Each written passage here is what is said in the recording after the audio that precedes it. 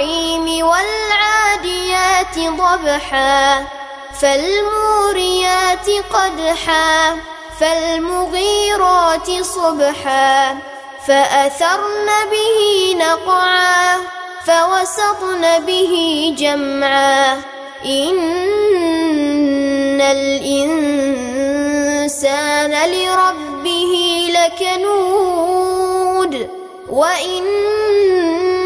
وإنه على ذلك لشهيد وإنه لحب الخير لشديد أفلا يعلم إذا بعثر ما في القبور وحصل ما في الصدور அஸ்ஸலாமு அலைக்கும் வரஹ்மத்துல்லாஹி வபரகாத்துஹு கண்ணியத்திற்குரிய பெரியோர்களே தாய்மார்களே சகோதர சகோதரிகளே வியாபார பெருங்குடி மக்களே இந்து கிறித்தவ சகோதர சமுதாயத்தை சார்ந்த நண்பர்களே இந்த பொதுக்கூட்டத்தில் தீவிரவாதத்தை எதிர்க்கும் இஸ்லாம் என்கிற தலைப்பு வழங்கப்பட்டிருக்கிறது. இந்த தலைப்பிற்கும் இந்த விழிப்புணர்வு பொதுக்கூட்டத்திற்கும் காரணம் என்னவென்று சொன்னால் இன்றைக்கு நாட்டிலே எங்கு குண்டுவெடிப்பு சம்பவங்கள் நடைபெற்றாலும் அந்த செயலை செய்தவர்கள் இஸ்லாமியர்கள் என்கின்ற ஒரு தவறான குற்றச்சாட்டு முஸ்லிம்கள் மீதான அவப்பழிகள் மீடியாக்களிலே செய்திகள் வாயிலாகவும் சினிமாக்கள் வாயிலாகவும் திட்டமிட்டு பரப்பப்பட்டு வருகிறது. இன்றைக்கு இஸ்லாமிய மார்க்கத்தை பற்றி ஃபேஸ்புக் தளங்களிலும் ட்விட்டர் தளங்களிலும் எந்த அளவிற்கு பரப்பப்படுகிறது என்று சொன்னால் முஸ்லிம்களுக்கு பயங்கரவாத செயல்களை செய்ய தூண்டுவதே இஸ்லாம் தான் என்கிற ஒரு தவறான ஒரு சித்திரம். ஒரு நபரை தலையிலே துணி போட்டு கழுத்தை கண்டந்துண்டமாக வெட்டுவதை போன்ற ஒரு வீடியோ காட்சி. அப்படி அறுத்து கொண்டிருக்கிற பொழுது திருக்குரான் வசனம் ஓதப்படுகிற ஒரு காட்சி. இதை உலகத்திற்கெல்லாம் ஒளிபரப்புகிற சமயத்தில் இதை செய்பவர்கள் யார் என்பதை மக்கள் பார்ப்பதில்லை. பரப்பக்கூடியவர்கள் யார் என்பதையும் தீர விசாரிப்பதில்லை. அந்த காட்சியை பார்க்கிற பொழுது இதை முஸ்லிம்கள் தான் செய்கிறார்கள் என்றும் இஸ்லாம் அவர்களை இவ்வாறு செய்ய தூண்டி இருக்கிறது என்றும் தவறான பிரச்சாரம் பரவப்பட்டு வருகிறது. இதன் காரணத்தினால் பல்வேறு மதத்தவர்கள் வாழக்கூடிய நம் நாட்டில் முஸ்லிம் சமுதாய மக்களை பற்றி இந்து கிறித்தவ அன்பர்களிடத்தில் ஒரு தவறான அபிப்பிராயம் ஒரு எண்ண ஓட்டம் இவர்களுக்கு நம்முடைய வீட்டில் வாடகைக்கு கொடுக்கலாமா? இவர்களுக்கு நம்முடைய கடையை வாடகைக்கு கொடுக்கலாமா? நம்முடைய வாகனங்களை வாடகைக்கு கொடுக்கலாமா? இவர்கள் ஏதாவது ஒரு விஷமத்தனமான காரியத்தில் ஈடுபட்டுருவாங்களோ என்கிற மாதிரியான ஒரு எண்ணம். அதனால தான் அந்த வீடு வாடகை கொடுக்கிற பொழுது கூட கேட்பார்கள் எவ்வளோ பேர் குடியிருக்க போகிறீங்க நாலு பேர் தான். அம்மா அப்பா ரெண்டு பிள்ளை. சரி. வேறு யாராவது வருவாங்களா? ஆ வருவாங்க. வெளியூர்லேருந்து தாய் தந்தை வந்துட்டு போவாங்க. வந்தால் எங்களுக்கு சொல்லணும். எத்தனை நாள் இருப்பாங்க? ஒரு ரெண்டு நாளில் போயிடுவாங்க அதுக்கு மேலே ஆச்சுன்னா எங்களுக்கு சொல்லணும்.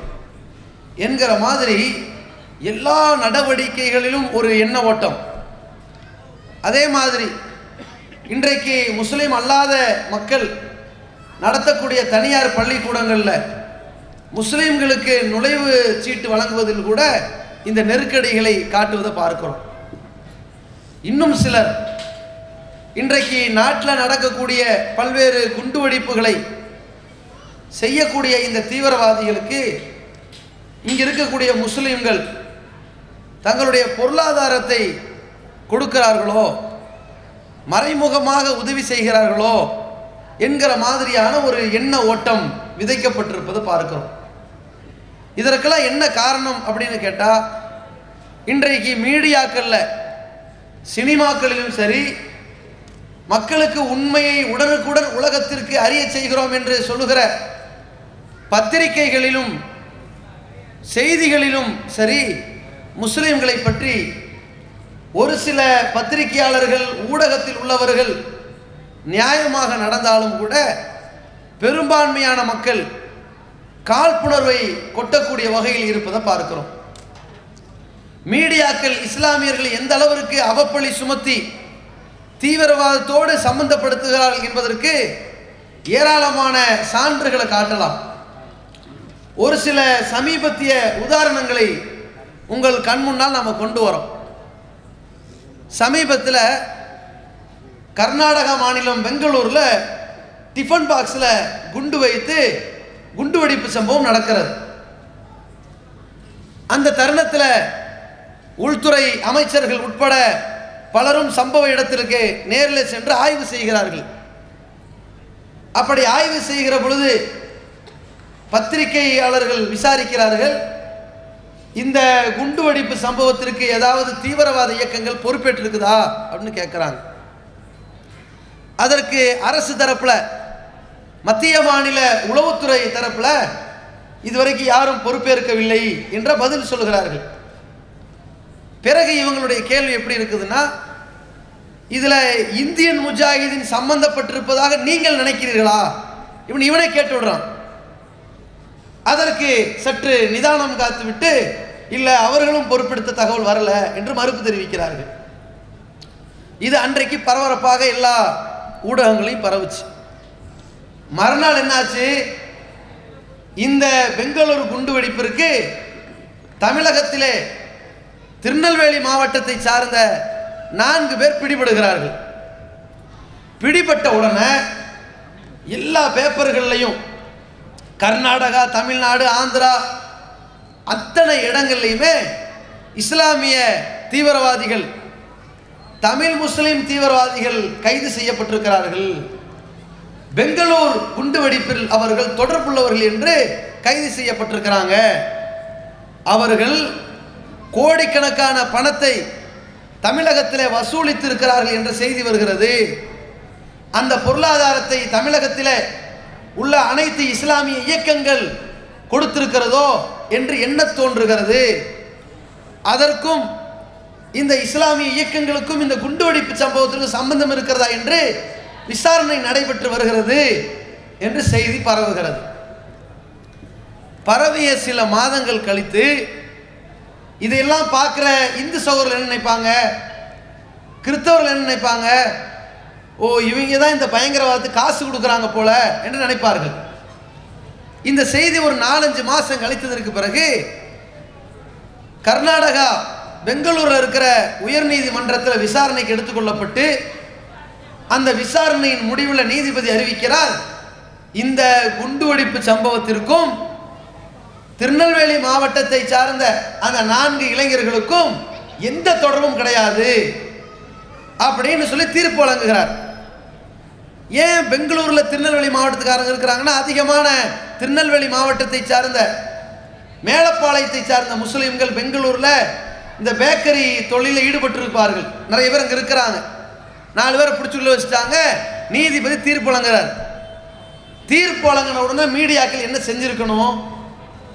எந்த மாதிரி நியாயமாக நடந்திருக்கணும்?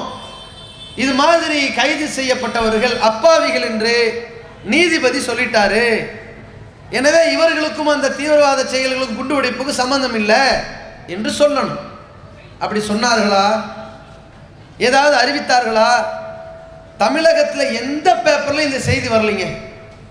எந்த தொலைக்காட்சியிலையும் இந்த செய்தி ஒளிபரப்பப்படலை.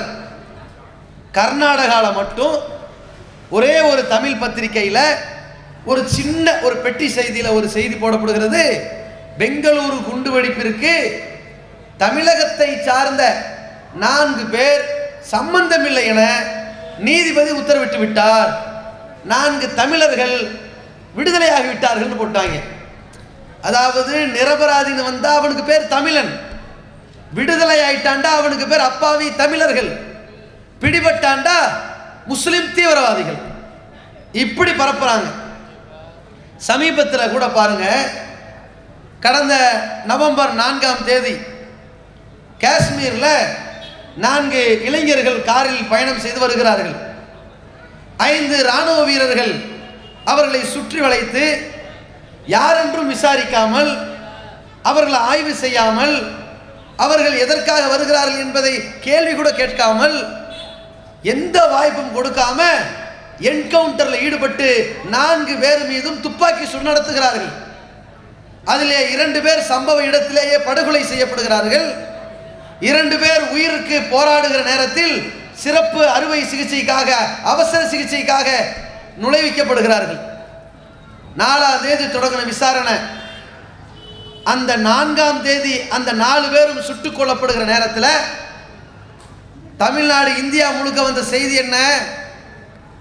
தீவிரவாதிகள் பாகிஸ்தானில் இருந்து இந்தியாவில் ஊடுருவி காஷ்மீரில் கழகம் விளைவிப்பதற்கு சதி செயலில் ஈடுபட்டதால் ராணுவ வீரர்கள் அவர்களை சுற்றி வளைத்தார்கள்.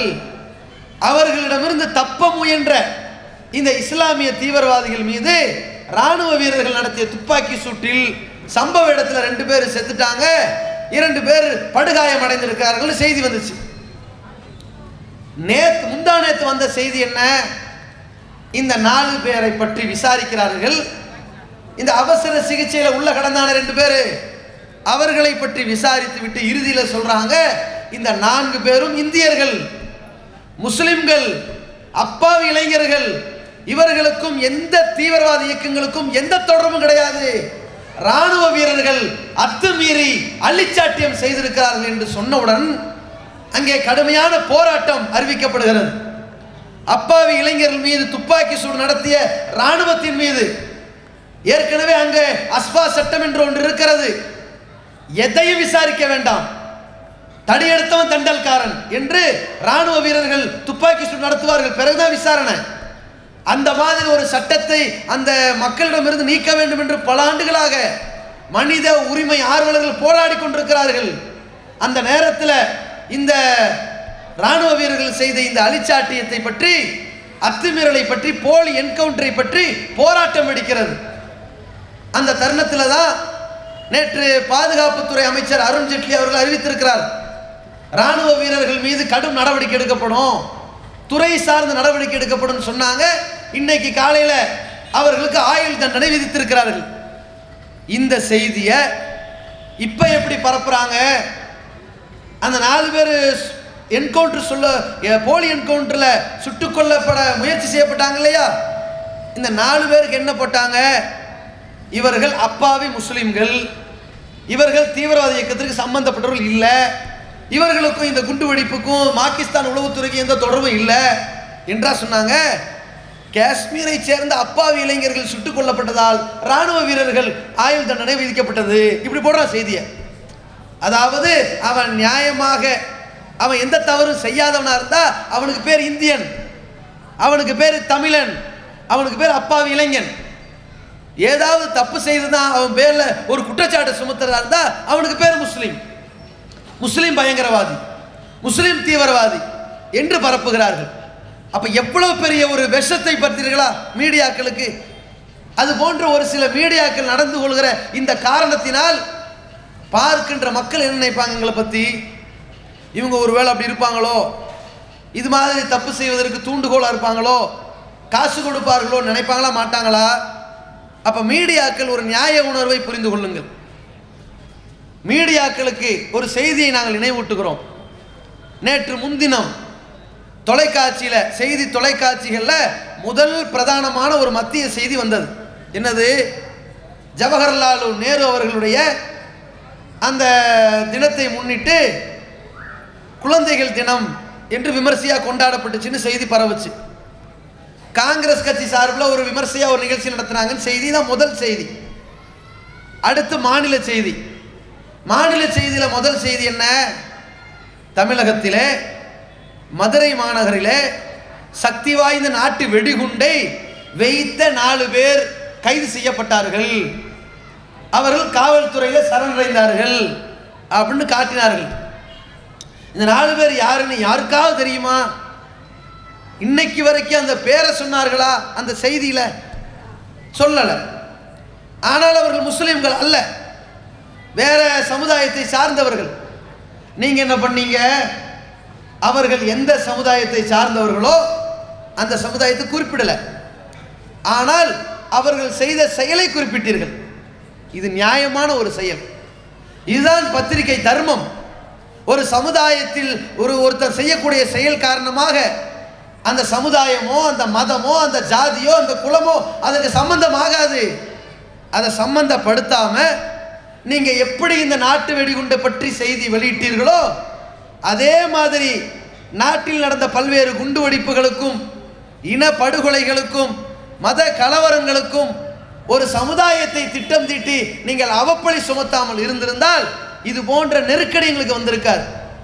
அதனால தான் இன்றைக்கு நாங்கள் வந்து நிற்கிறோம் இஸ்லாமிய மார்க்கத்தினுடைய அடிப்படை யார் ஒரு மனிதனை அநியாயமாக கொலை செய்கிறானோ ஃபக்க அன்னமா கத்தல நாச ஜமியா அவன் ஒட்டுமொத்த உலக மாந்தர்களையும் படுகொலை செய்ததற்கு சமம் என்று இஸ்லாம் சொல்லுகிறது.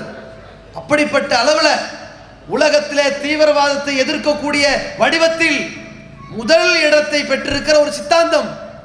எந்த சித்தாந்தத்தில் இப்படி சொல்லப்பட்டிருக்குதா? நீ ஒரு கொலை செய்தால் அந்த அநியாயமான படுகொலை எப்படிப்பட்டது தெரியுமா? பத்து மாதம் உன்னை பெற்றெடுத்த தாயை உன்னை வளர்த்த தந்தையை உன்னோடு பிறந்த சகோதரர்களை நீ மனம் முடித்த மனைவியை நீ பெற்றெடுத்த பிள்ளை உட்பட உலக மாந்தர்களை எல்லாம் திட்டமிட்டு கொலை செய்த கொடுங்கோலனுக்கு சமம் என்று உலகத்தில் எந்த சித்தாந்தத்தில் சொல்லப்பட்டிருக்குதா? அப்படிப்பட்ட அளவில் தீவிரவாதத்தை எதிர்க்கிறது இஸ்லாம். அந்த மார்க்கத்தை பற்றி இன்றைக்கு அவப்பெயர் சுமத்தப்படுகிற காரணத்தினால் நாங்கள் இந்த தீவிரவாதத்துக்கு எதிரான பிரச்சாரத்தில் கையில் எடுத்து இறங்குகிறோம். ஒரு மாத கால பிரச்சாரம். எங்களுடைய சமுதாயத்தை பார்த்து பத்திரிகையாளர்கள் கேட்கிறார்கள். ஒரு மாதத்தை தேர்ந்தெடுத்திருக்கிறீர்கள். ஏப்ரல் மே போன்ற கோடை காலத்தை தேர்ந்தெடுத்திருந்தால் வெகுஜன மக்களுக்கு கொண்டு போய் சேர்க்கலாம். போய் போய் மழைக்காலத்தையே தேர்ந்தெடுக்க வேண்டும் என்று கேட்டார்கள். நாங்கள் சொன்னோம் நாங்கள் நிர்பந்திக்கப்பட்டிருக்கிறோம். எங்கள் மீது சுமத்தப்பட்டிருக்கிற இந்த அவப்பழியை அகற்ற வேண்டும் என்பதற்காக. கொட்டும் மழை பெரிதல்ல. எங்கள் சமுதாயத்தின் மீது கொட்டப்பட்ட அவப்பழிகள் தான் பெரிது என்பதை கவனத்தில் வைத்து அதை துடை தெரிவதற்காக நாங்கள் களமிறங்கி இருக்கிறோம் என்று பதில் சொல்லி கடந்த ஒரு மாத காலம் தீவிரவாதத்திற்கு எதிராக துண்டு பிரசுரங்கள் பொதுக்கூட்டங்கள் தெருமுனை கூட்டங்கள் என்று ஏராளமான பிரச்சாரத்தை செய்கிறோம். அதன் இறுதி வடிவமாகத்தான் நாளை தினம் தமிழகம் முழுவதும் கேரளா கர்நாடகா ஆந்திரா புதுவை மகாராஷ்டிரா ஆகிய மாநிலங்களிலும் அனைத்து மாவட்ட அந்த மாநில தலைநகரங்களிலே ஆயிரம் கிலோமீட்டர் சூழக்கூடிய வகையிலே பத்து லட்சம் தொண்டர்களை ஒன்றிணைக்கக்கூடிய மனித சங்கிலி போராட்டத்தை நடத்தி இஸ்லாமிய சமுதாயம் தீவிரவாதத்தை எதிர்க்கக்கூடிய சமுதாயம் என்கின்ற ஒரு விழிப்புணர்வை நடத்தக்கூடிய நிலைக்கு நாங்கள் தள்ளப்பட்டிருக்கிறோம். அந்த வழியில்தான் இந்த பொதுக்கூட்டம் கூட. இஸ்லாமிய மார்க்கம் எந்த அளவிற்கு தீவிரவாதத்தை வேறறுக்கிறது என்பதை பற்றி மார்க்கத்தில் சொல்லப்பட்ட சில தகவல்களை பிற மத மக்களுடைய மேலான கவனத்திற்கு நாங்கள் கொண்டு வருகிறோம். உலகத்திலே மனித குலத்திற்கு மிகப்பெரிய அச்சுறுத்தலாக இருக்கக்கூடிய மிகப்பெரிய சவாலாக இருக்கக்கூடியது இந்த தீவிரவாதம் பயங்கரவாத செயல்கள் தான். இந்த பயங்கரவாத செயல்கள் எந்த ஒரு சமுதாயத்திடத்திலும் வரக்கூடாது என்பதில் இஸ்லாமிய மார்க்கம் மிக தெளிவான திட்டங்களை வகுந்திருக்கிறது இது மனிதனுக்கு ஏற்ற ஒரு மார்க்கம்.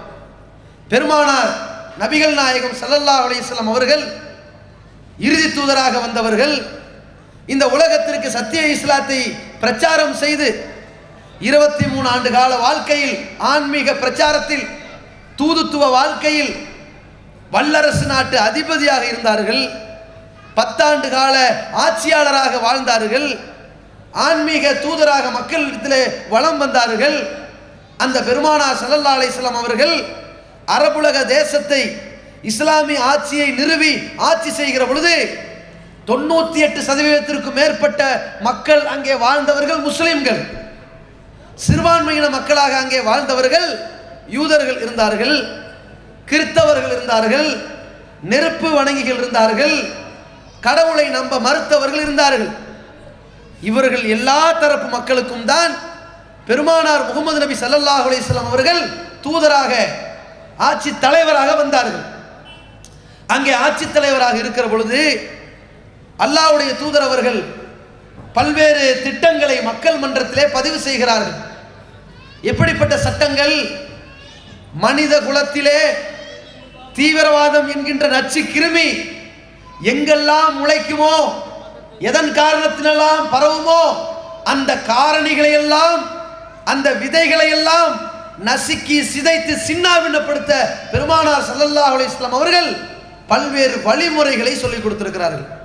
எப்படி?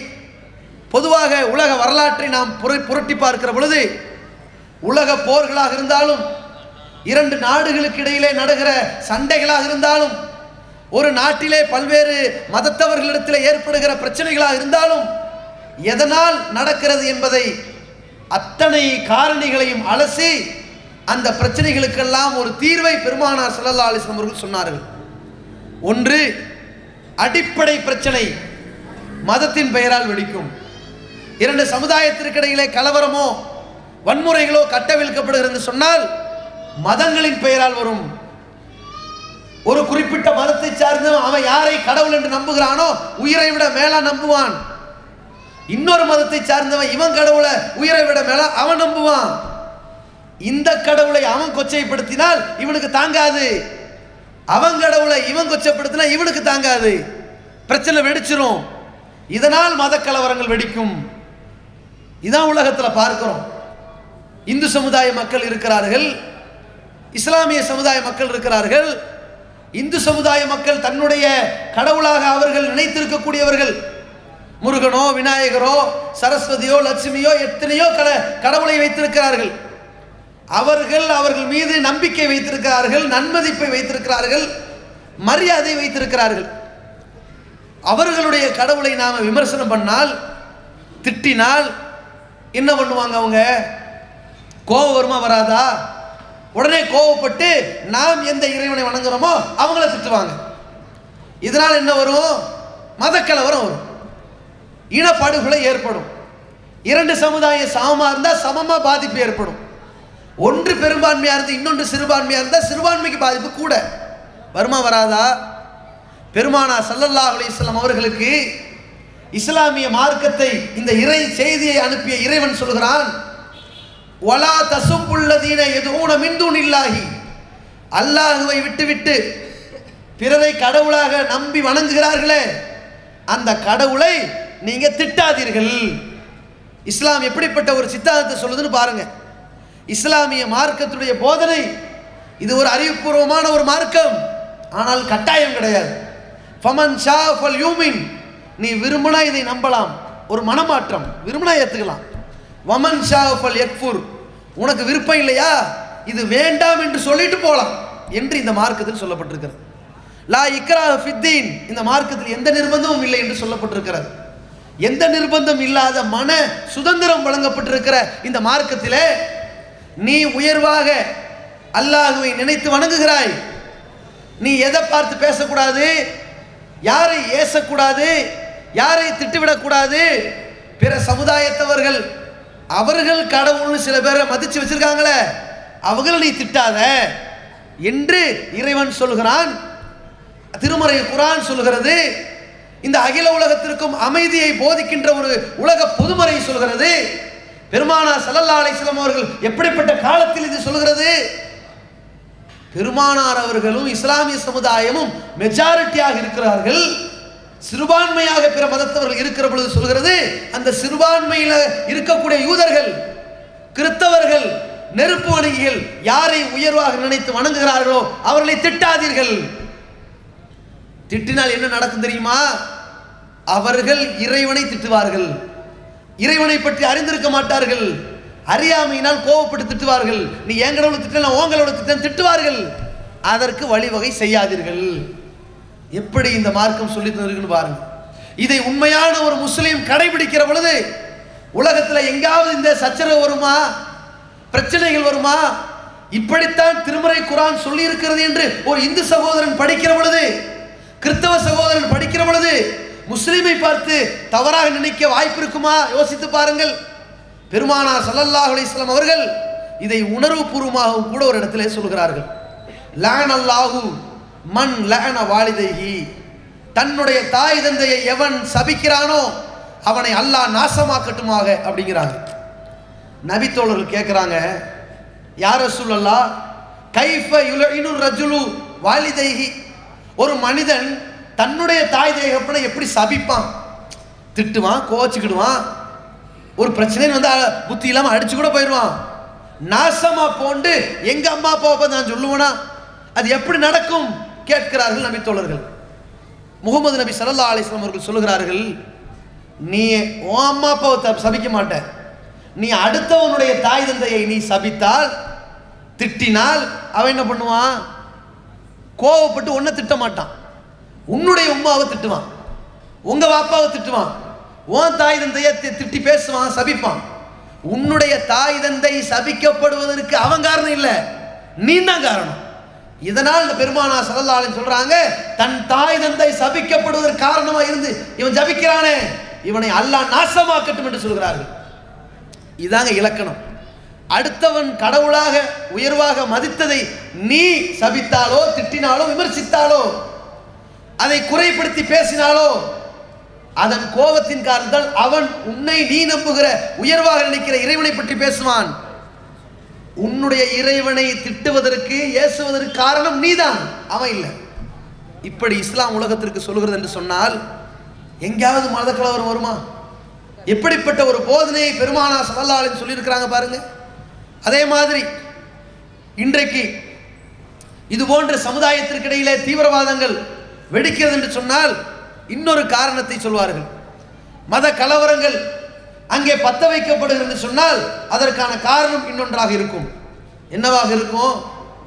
ஒரு சமுதாயம் வழிபாட்டு தலமாக எதை வைத்திருக்கிறார்களோ அதிலே ஒரு சேதாரம் ஏற்பட்டு விட்டால் அதிலே உள்ள சிலைகளில் ஏதாவது சேதாரம் ஏற்பட்டால் அல்லது அதில் ஒரு தீட்டு ஏற்பட்டதாக அந்த சமுதாயம் கருதிவிட்டால் எதிர் சமுதாயத்தை சார்ந்தவர்கள் ஒரு வன்முறையை அந்த வழிபாட்டு தலயத்திலே நிகழ்த்தி விட்டார்கள் என்று அவர்கள் நினைத்து விட்டால் உடனடியாக கோபம் வரும் பிரச்சனை ஏற்படும் இரண்டு சமுதாயத்திற்கு இடையிலே சங்கடங்கள் ஏற்படும். இதை இஸ்லாமிய மார்க்கம் எப்படி தடுக்கிறது தெரியுமா? இறைவன் தன் திருமறை குரானிலே போதிக்கின்றான்.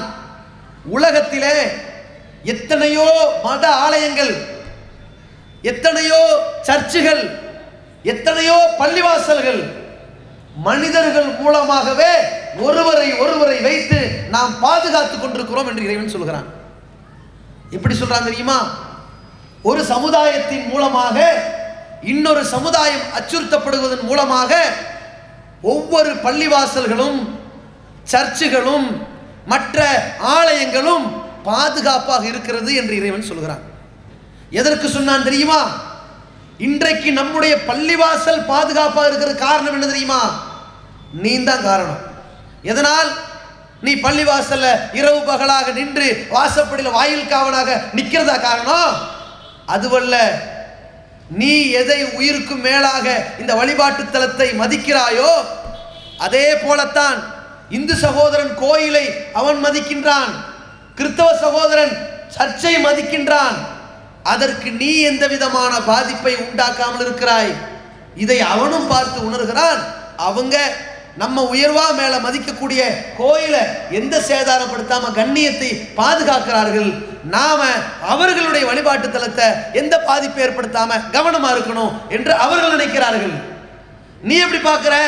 அவங்க நம்ம பள்ளிவாசல கண்ணியமா பார்க்கிறாங்க.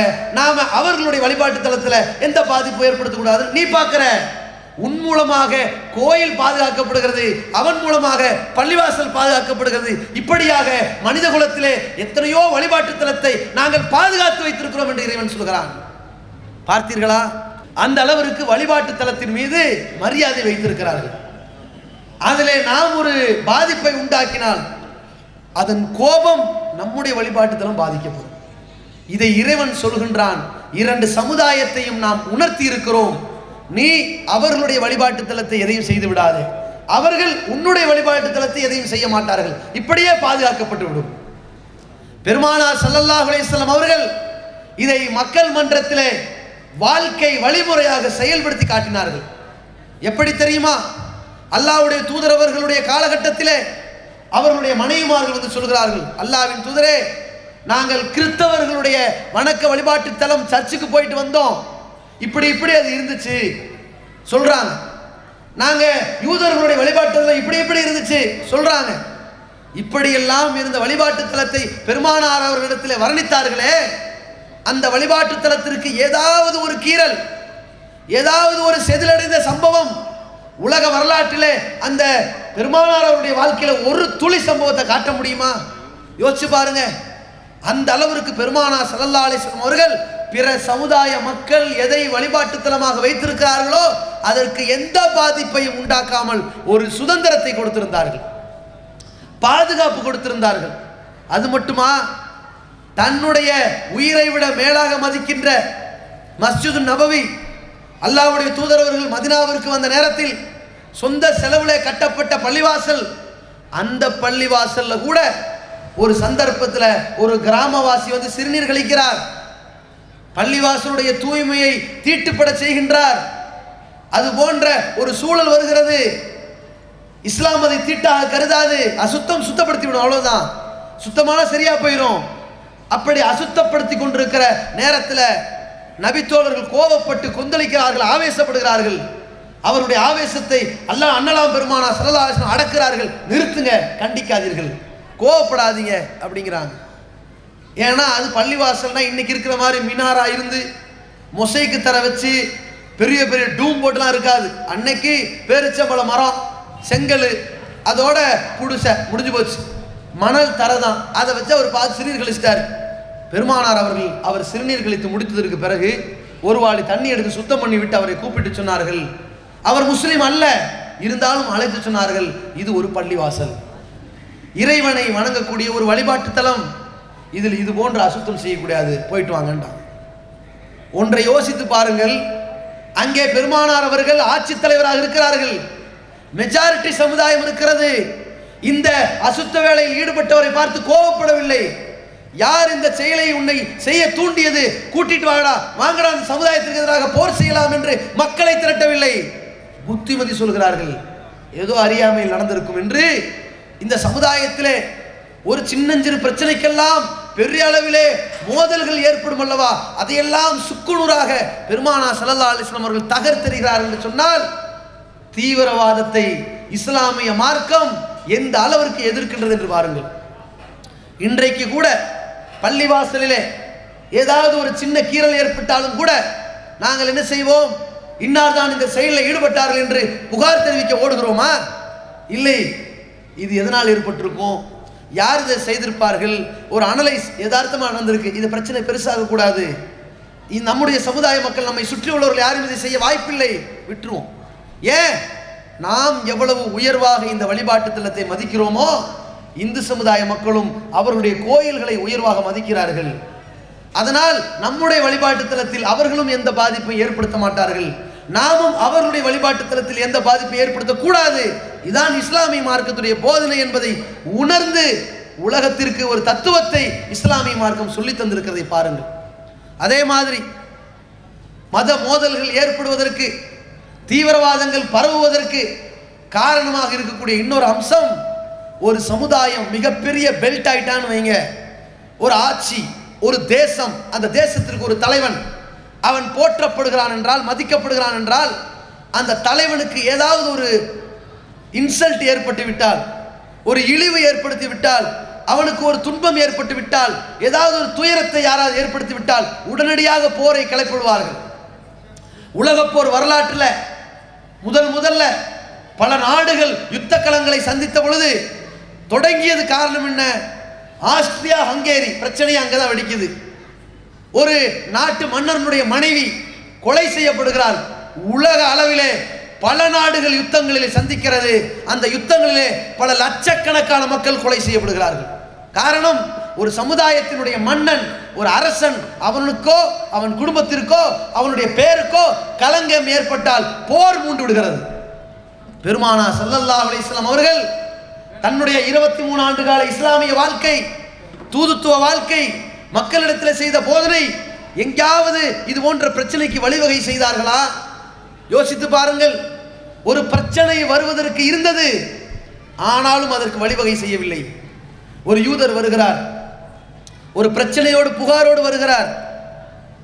பெருமானார் அவர்களுடைய வாழ்க்கையில முகமது நபி சல்லா அலைஹி வாழ்க்கையில யூதர்களும் நெருப்பு வணங்கிகளும் இஸ்லாமியர்களும் கலந்துருக்கிறாங்க யூதர் வியாபாரம் பண்றாரு.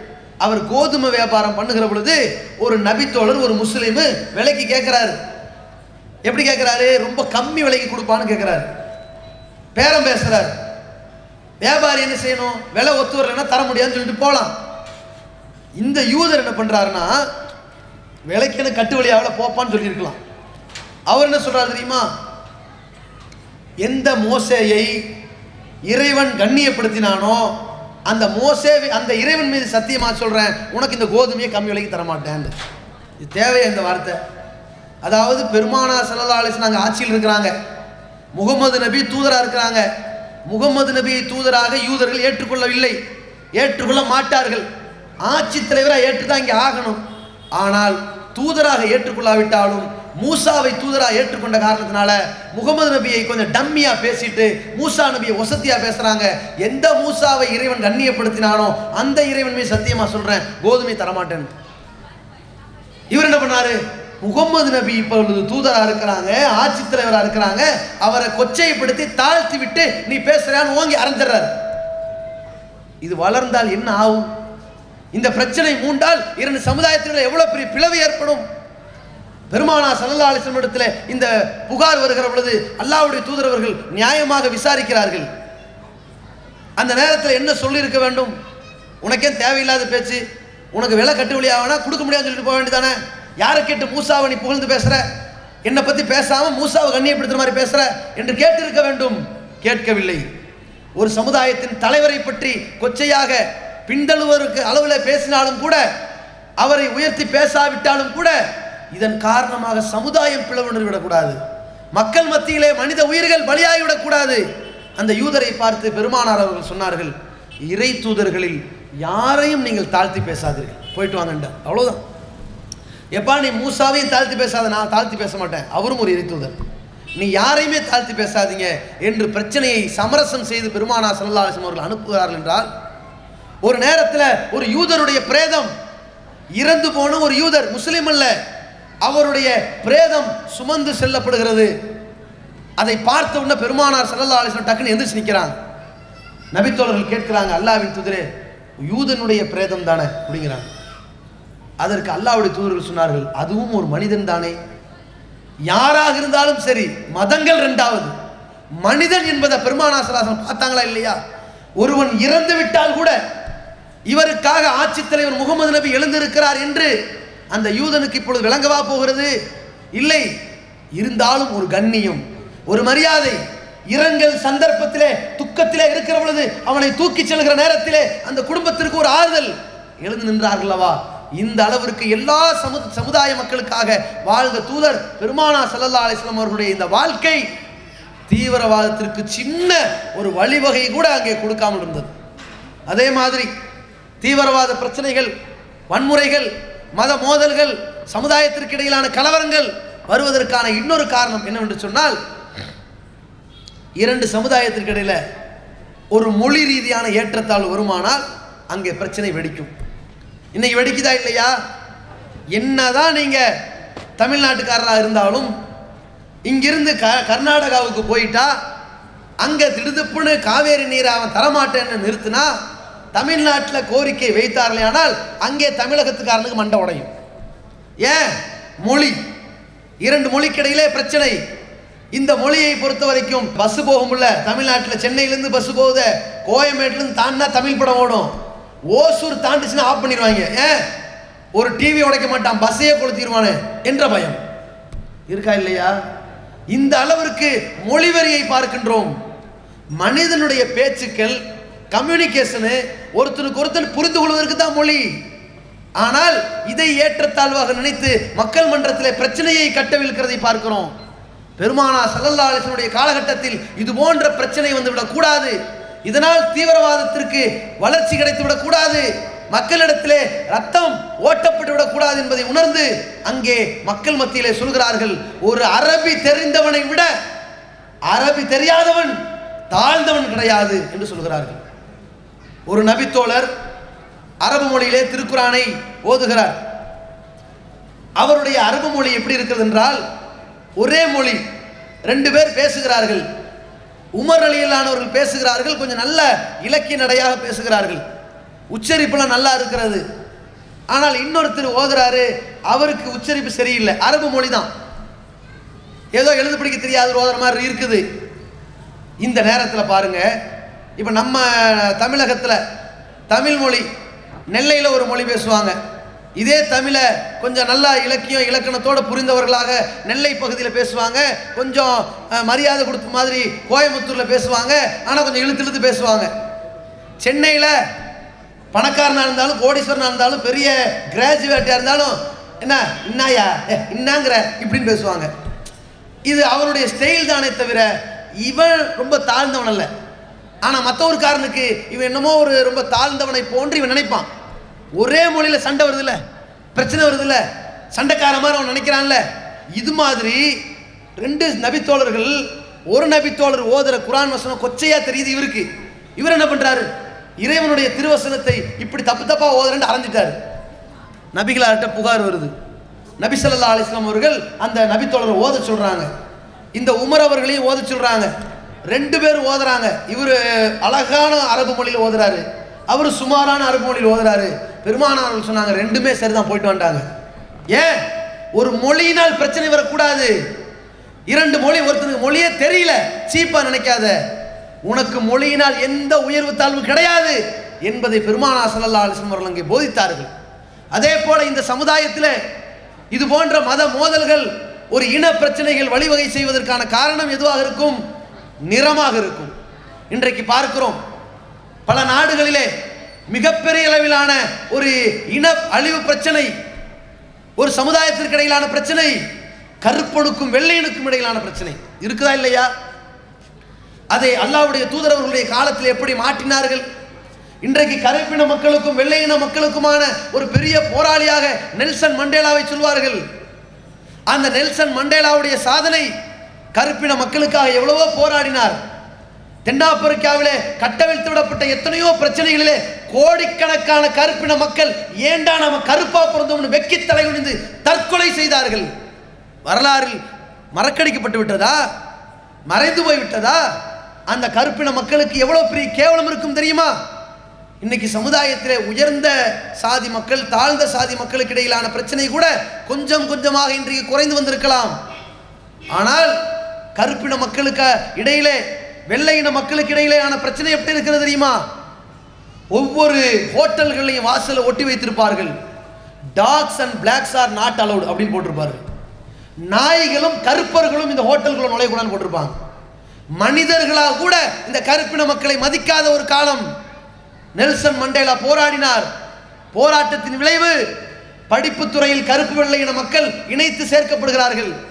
ஆட்சி அதிகாரத்திலே கருப்பு வெள்ளையின மக்கள் சேர்க்கப்படுகிறார்கள். ஆனால் ஒரே ஒரு இடத்தில் மட்டும்தான் ஒரு மனிதனுடைய மொழியை பார்த்து தள்ளி விடுகிறார்கள் நிறத்தை பார்த்து தள்ளி விடுகிறார்கள் இனத்தை பார்த்து தள்ளி விடுகிறார்கள் குலத்தை பார்த்து தூக்கி எறிகிறார்கள். எங்கே? வழிபாட்டு தலத்தில். வழிபாட்டு தலம் என்று வருகிற பொழுது அவன் கருப்பினமா? அவன் கிட்ட தாழ்ந்த இனமா? தாழ்ந்த குலமா? தூக்கி எறிந்து விடுகிறார்கள். புறக்கணிக்கப்படுகிறார்கள். அதிலிருந்து அந்த மக்களை விடுவிப்பதற்கான போராட்டம் நெல்சன் மண்டேலாவால் வெற்றி கொள்ள முடியவில்லை. பெருமானார் சல்லல்லா அலிஸ்லாம் அவர்கள் அங்கே வெற்றி சாதனை புரிந்தார்கள். எப்படி? அந்த அரபியர்கள் குறைசி மக்கள் வெள்ளை வெளேர் என்று இருக்கக்கூடிய மக்கள் போதனை செய்தார்கள். அபிசீனியா என்கிற தேசத்திலிருந்து வந்த கருப்பின மக்களை துச்சமாக துயரமாக அடிமைத்தனமாக நடத்தி கொண்டிருந்த அந்த வெள்ளையின மக்களை பார்த்து சொன்னார்கள் ஒரு வெள்ளையின மக்கள் கருப்பின மக்களை விட உயர்ந்தவன் கிடையாது. மக்களே உங்களுக்கு ஒரு ஆட்சி தலைவனாக ஒரு கருப்பின மக்கள் வந்தால் அவனுடைய மண்டை குரு திராட்சை கருப்பு திராட்சை போன்று இருந்தாலும் அப்படித்தான் அந்த நீக்ரோக்காரங்க தலை இருக்கும்? அதை சொல்லி கருந்திராட்சை போன்று அவன் தலை இருந்தாலும் கூட நீங்கள் கட்டுப்பட வேண்டும் என்று சொன்னார்கள். சொன்னது மட்டுமா?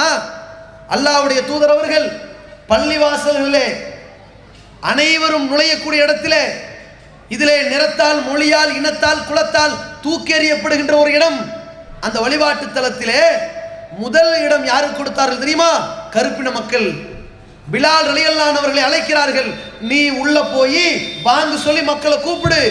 அல்லாஹ் அக்பர் என்று பள்ளிவாசலில் தொழுகைக்காக அழைக்கிறார் பிலால் ரலியல்லானவர்கள் ஒரு கருப்பின சமுதாயத்தை சார்ந்தவர் வழிபாட்டு தளத்திலே முதலில் நுழைகிறார். எல்லோரையும் தொழுகைக்கு அழைக்கிறார். வெள்ளையின மக்கள் தொழுகைக்கு வருகிறார் என்றால் எப்படி தொழுகை? அவர் பிலால் முந்தி வந்து விட்டார். முதலில் தொழுவார். பிந்தி வருகின்ற வெள்ளையின மக்கள் பிலால் அவர்கள் தொழுகிற பொழுது சஜிதா என்கின்ற ஒரு இடத்திலே இறைவனை வணங்குவதற்காக சிரமணிந்து வருவார். அப்பொழுது இவருடைய கால் பாதத்தை பின்னால் குனிந்து இறைவனை சிரமணிந்து கொண்டிருக்கின்ற அந்த வெள்ளையினுடைய நெத்தி படும். கோச்சிக்க மாட்டான். தாழ்வ நினைக்க மாட்டான். ஏன்? மனித குலத்திலே தீண்டாமையை தகர்த்தெறிந்த ஒரு மார்க்கம். தீவிரவாதம் தீண்டாமையினால் கூட வந்துவிடக்கூடாது என்பதிலே தீவிரம் காட்டிய ஒரு மார்க்கம் இஸ்லாம். அப்படிப்பட்ட அளவில் பெருமானா சல்லல்லா அலிஸ்லம் அவர்கள் வழிவகை செய்கிறார்கள்.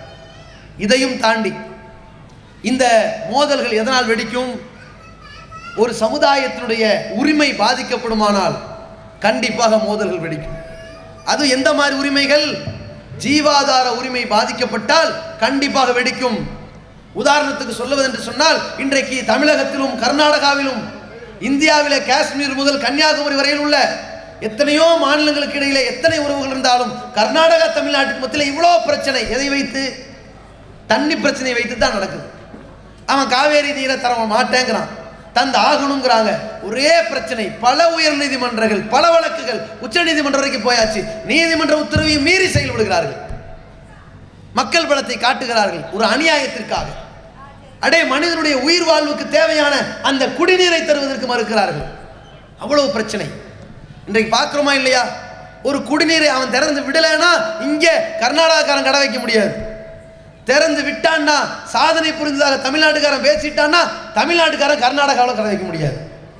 ஒரு தண்ணீர் பிரச்சனை நாட்டில் எவ்வளோ பெரிய கலவரத்தையும் இன படுகொலையும் உண்டாக்குது பார்த்தீங்களா பெருமானா சல்லல்லா அலிஸ்லாம் அவர்கள் இது போன்ற பிரச்சனைகள் கூட மனித குலத்திற்கு இடையிலே வந்துவிடக்கூடாது என்பதிலே தீவிர கவனம் செலுத்தினார்கள். எப்படி? சகாபாக்களுக்கு சொல்கிறார்கள் தண்ணீரை வியாபாரம் செய்வதை அல்லாவுடைய தூதரவர்கள் தடை செய்திருக்கிறார்கள். ஹதீஸுகளில் பார்க்கிறோம். நபிமொழிகளில் பார்க்கிறோம். நம்ம நினைக்கலாம் என்னடா தண்ணி வியாபாரம் பண்ணுறது ஹராமா? அப்போ வாக்கெட் பாக்கெட் வாட்டர் இருக்குது பாட்டில் வாட்டர் இருக்குது பத்து ரூபா இருபது ரூபா ஐம்பது ரூபா விற்கிறாங்க அது என்னது? இது தண்ணியை விற்கல அதை சுத்திகரிக்கிறதுக்கும் மார்க்கெட்டிங் பண்ணுறதுக்கும் லேபிள் ஒட்டினதுக்கும் மூடி போட்டதுக்கும் பாட்டில் போட்டதுக்கான காசு. பெருமானா சல்லல்லா ஆலிசன் அவர்கள் சொன்னது என்னவென்று சொன்னால் உன்னுடைய உனக்கு சொந்தமான ஒரு நீர்நிலை. கிணறாகட்டும் சின்ன குளமாகட்டும் உனக்கு சொந்தமான நீர்நிலை இருந்தால் உன்னுடைய தேவைக்கு போக மீதமுள்ள தண்ணியை தடுத்து வைக்கிறது பாவம் என்று சொன்னார்கள். அடுத்தவனு குடு. உன்னுடைய வயல்வெளியில ஒருத்தன் தண்ணீர் எடுத்து குடிக்கிறான குடிச்சுக்கிட்டு போட்டும். காசு வாங்காத பெருமானா செல்லலான்னு சொல்கிறார் என்றால் எந்த அளவிற்கு மனிதனுடைய ஜீவாதார கோரிக்கைகளில் பிரச்சனை வந்து கூடாது என்று பார்த்திருக்கிறார்கள் பார்த்தீங்களா? உலகத்திற்கு தீவிரவாதத்தை எதிர்க்கக்கூடிய இந்த மார்க்கம் இஸ்லாமிய மார்க்கம் எல்லா காரணிகளையும் அடைத்திருக்கிறது. எந்த அளவிற்கு என்றால் மனித குலத்திலே எல்லா பிரச்சனைகளுக்கும் முதல் அடித்தளம் இனவெறி தான் வரும். ஊர்வெறி இனவெறி நிறவெறி மொழிவெறி எல்லாம் வரும். டக்குன்னு கூட்டு சேருவாங்க. ஏன் தெருக்காரன்? கூட்டு சேர்ந்துருவான். ஆனால் ஒரு கிரிக்கெட் டீம்னு சொன்னாலும் ஒரு கிராமத்துக்குள்ள ரெண்டு கிரிக்கெட் டீம் அடிச்சுக்கிட்டு சாவறான். என்ன? என்னுடைய பதினேழு பேரை நான் காப்பாற்ற வேண்டும். ஒரு இனத்திற்கான ஒரு வெறி வந்து விடுகிறது அல்லவா? இப்படி ஒரு மொழி வெறியால் இனவெறியால் நிறவெறியால் மதவெறியால் ஜாதி வெறியால் சமுதாயம் அழிந்து விடக்கூடாது.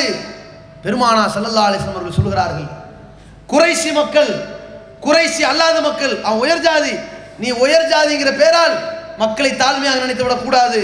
சொல்கிறார்கள் அதே நேரத்தில் நீ இஸ்லாமிய மார்க்கத்தை சார்ந்தவன் இஸ்லாமிய மக்களுக்காக உதவி செய்கிறாய் போராடுகிறாய் இனவரி வந்து விடக்கூடாது எப்படி எச்சரிக்கை செய்கிறார்கள் என்றால் அல்லாவுடைய தூதரவர்கள் கண்டனம் தெரிவிக்கின்றார்கள். மண் தாயிலல் அசபியத்தி ஃபலைசமின்னா எவன் இனவரியின் பக்கம் அழைக்கிறானோ அவன் என்னை சேர்ந்த முஸ்லீம் கிடையாது. அல்லாவுடைய தூதர்கள் சொல்கிறார்கள். முகமது நபியுடைய போதனையை பாருங்கள். ஒமன் காத்தலஃபில் அசபியத்தி ஃபகத்லுஹு ஜாகிலியா எவன் இனவரியின் பக்கம் அழைக்கிறானோ அவன் செத்துவிட்டால் அவன் இஸ்லாத்தின் வழியிலே சாகவில்லை. ஜிஹாதின் வழியில் சாகவில்லை. இனவெறியனாக சாகிறான். அல்லாவுடைய தூதரவர்கள் சொல்கிறார்கள். இந்த அளவிற்கு கண்டனம் தெரிவிக்கிறார்கள். நபித்தோழர்கள் கேட்கிறார்கள் அல்லாவின் தூதரே ஒருவன் தன் சமுதாயத்திற்காக போராடுகிறான் என்றால் அது இனவெறி ஆகுமா தன் சமுதாயத்தில் நியாயத்திற்காக போராடுகிறான் என்றால் அது இனமாச்சரியமாகுமா? கேட்கிறார்கள். அப்பொழுது நபி சொல்கிறாங்க சொல்றாங்க ஒருவன் தன் சமுதாயத்தின் நியாயத்திற்கு போராடுவானே ஆனால் அது இனவெறி அல்ல. அது நியாயத்துக்கான போராட்டம். தன்னுடைய சமுதாயத்தை சார்ந்தவன் தப்பு செஞ்சிருக்கான்னு தெரிஞ்சும் இவன் போராடுகிறான் என்று சொன்னால் அதற்கு பெயர் தான் இனவெறி என்று சொன்னார்கள். இந்த உலகத்தில் எந்த மதத்தை சார்ந்தவர்களும் எந்த ஜாதியை சார்ந்தவர்களும் எந்த குலத்தை சார்ந்தவர்களும் எந்த மொழியை சார்ந்தவர்களும் எந்த நிறத்தை சார்ந்தவர்களும் அவர்கள் சார்ந்த சமுதாயத்திற்காக போராடலாம் அது தப்பு அல்ல.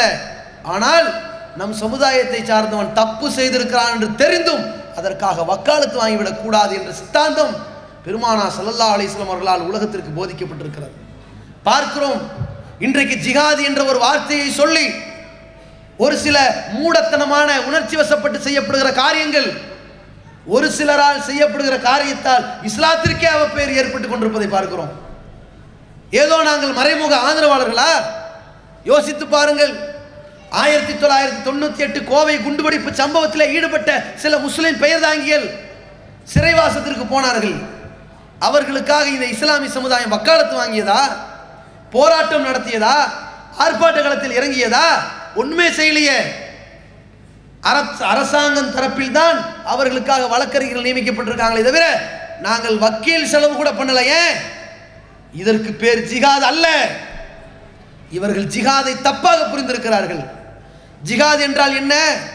பெருமானா சல்லல்லாஹ் அலிஸ்லாம் அவர்கள் உலகத்திற்கு எடுத்துச் சொன்ன ஜிகாத் என்பது ஒரு இஸ்லாமிய அரசு தன்னுடைய நாட்டில் வாழுகிற இஸ்லாமியர்கள் இந்துக்கள் கிறிஸ்தவர்கள் நாத்திகர்கள் புத்தர்கள் சீக்கியர்கள் எல்லா மதத்தவர்களுக்கும் அண்டை நாட்டிலிருந்தோ ஒரு ஊரிலிருந்தோ பிரச்சனை என்று வருகிற பொழுது ராணுவ வீரர்களை வைத்து உத்த யுத்தத்தை பிரகடனம் செய்தால் அந்த யுத்தத்திற்கு பெயர் ஜிகாத் இதுக்கு பேர் தான் ஜிகாது இதான் ஜிகாதின் இலக்கணம்.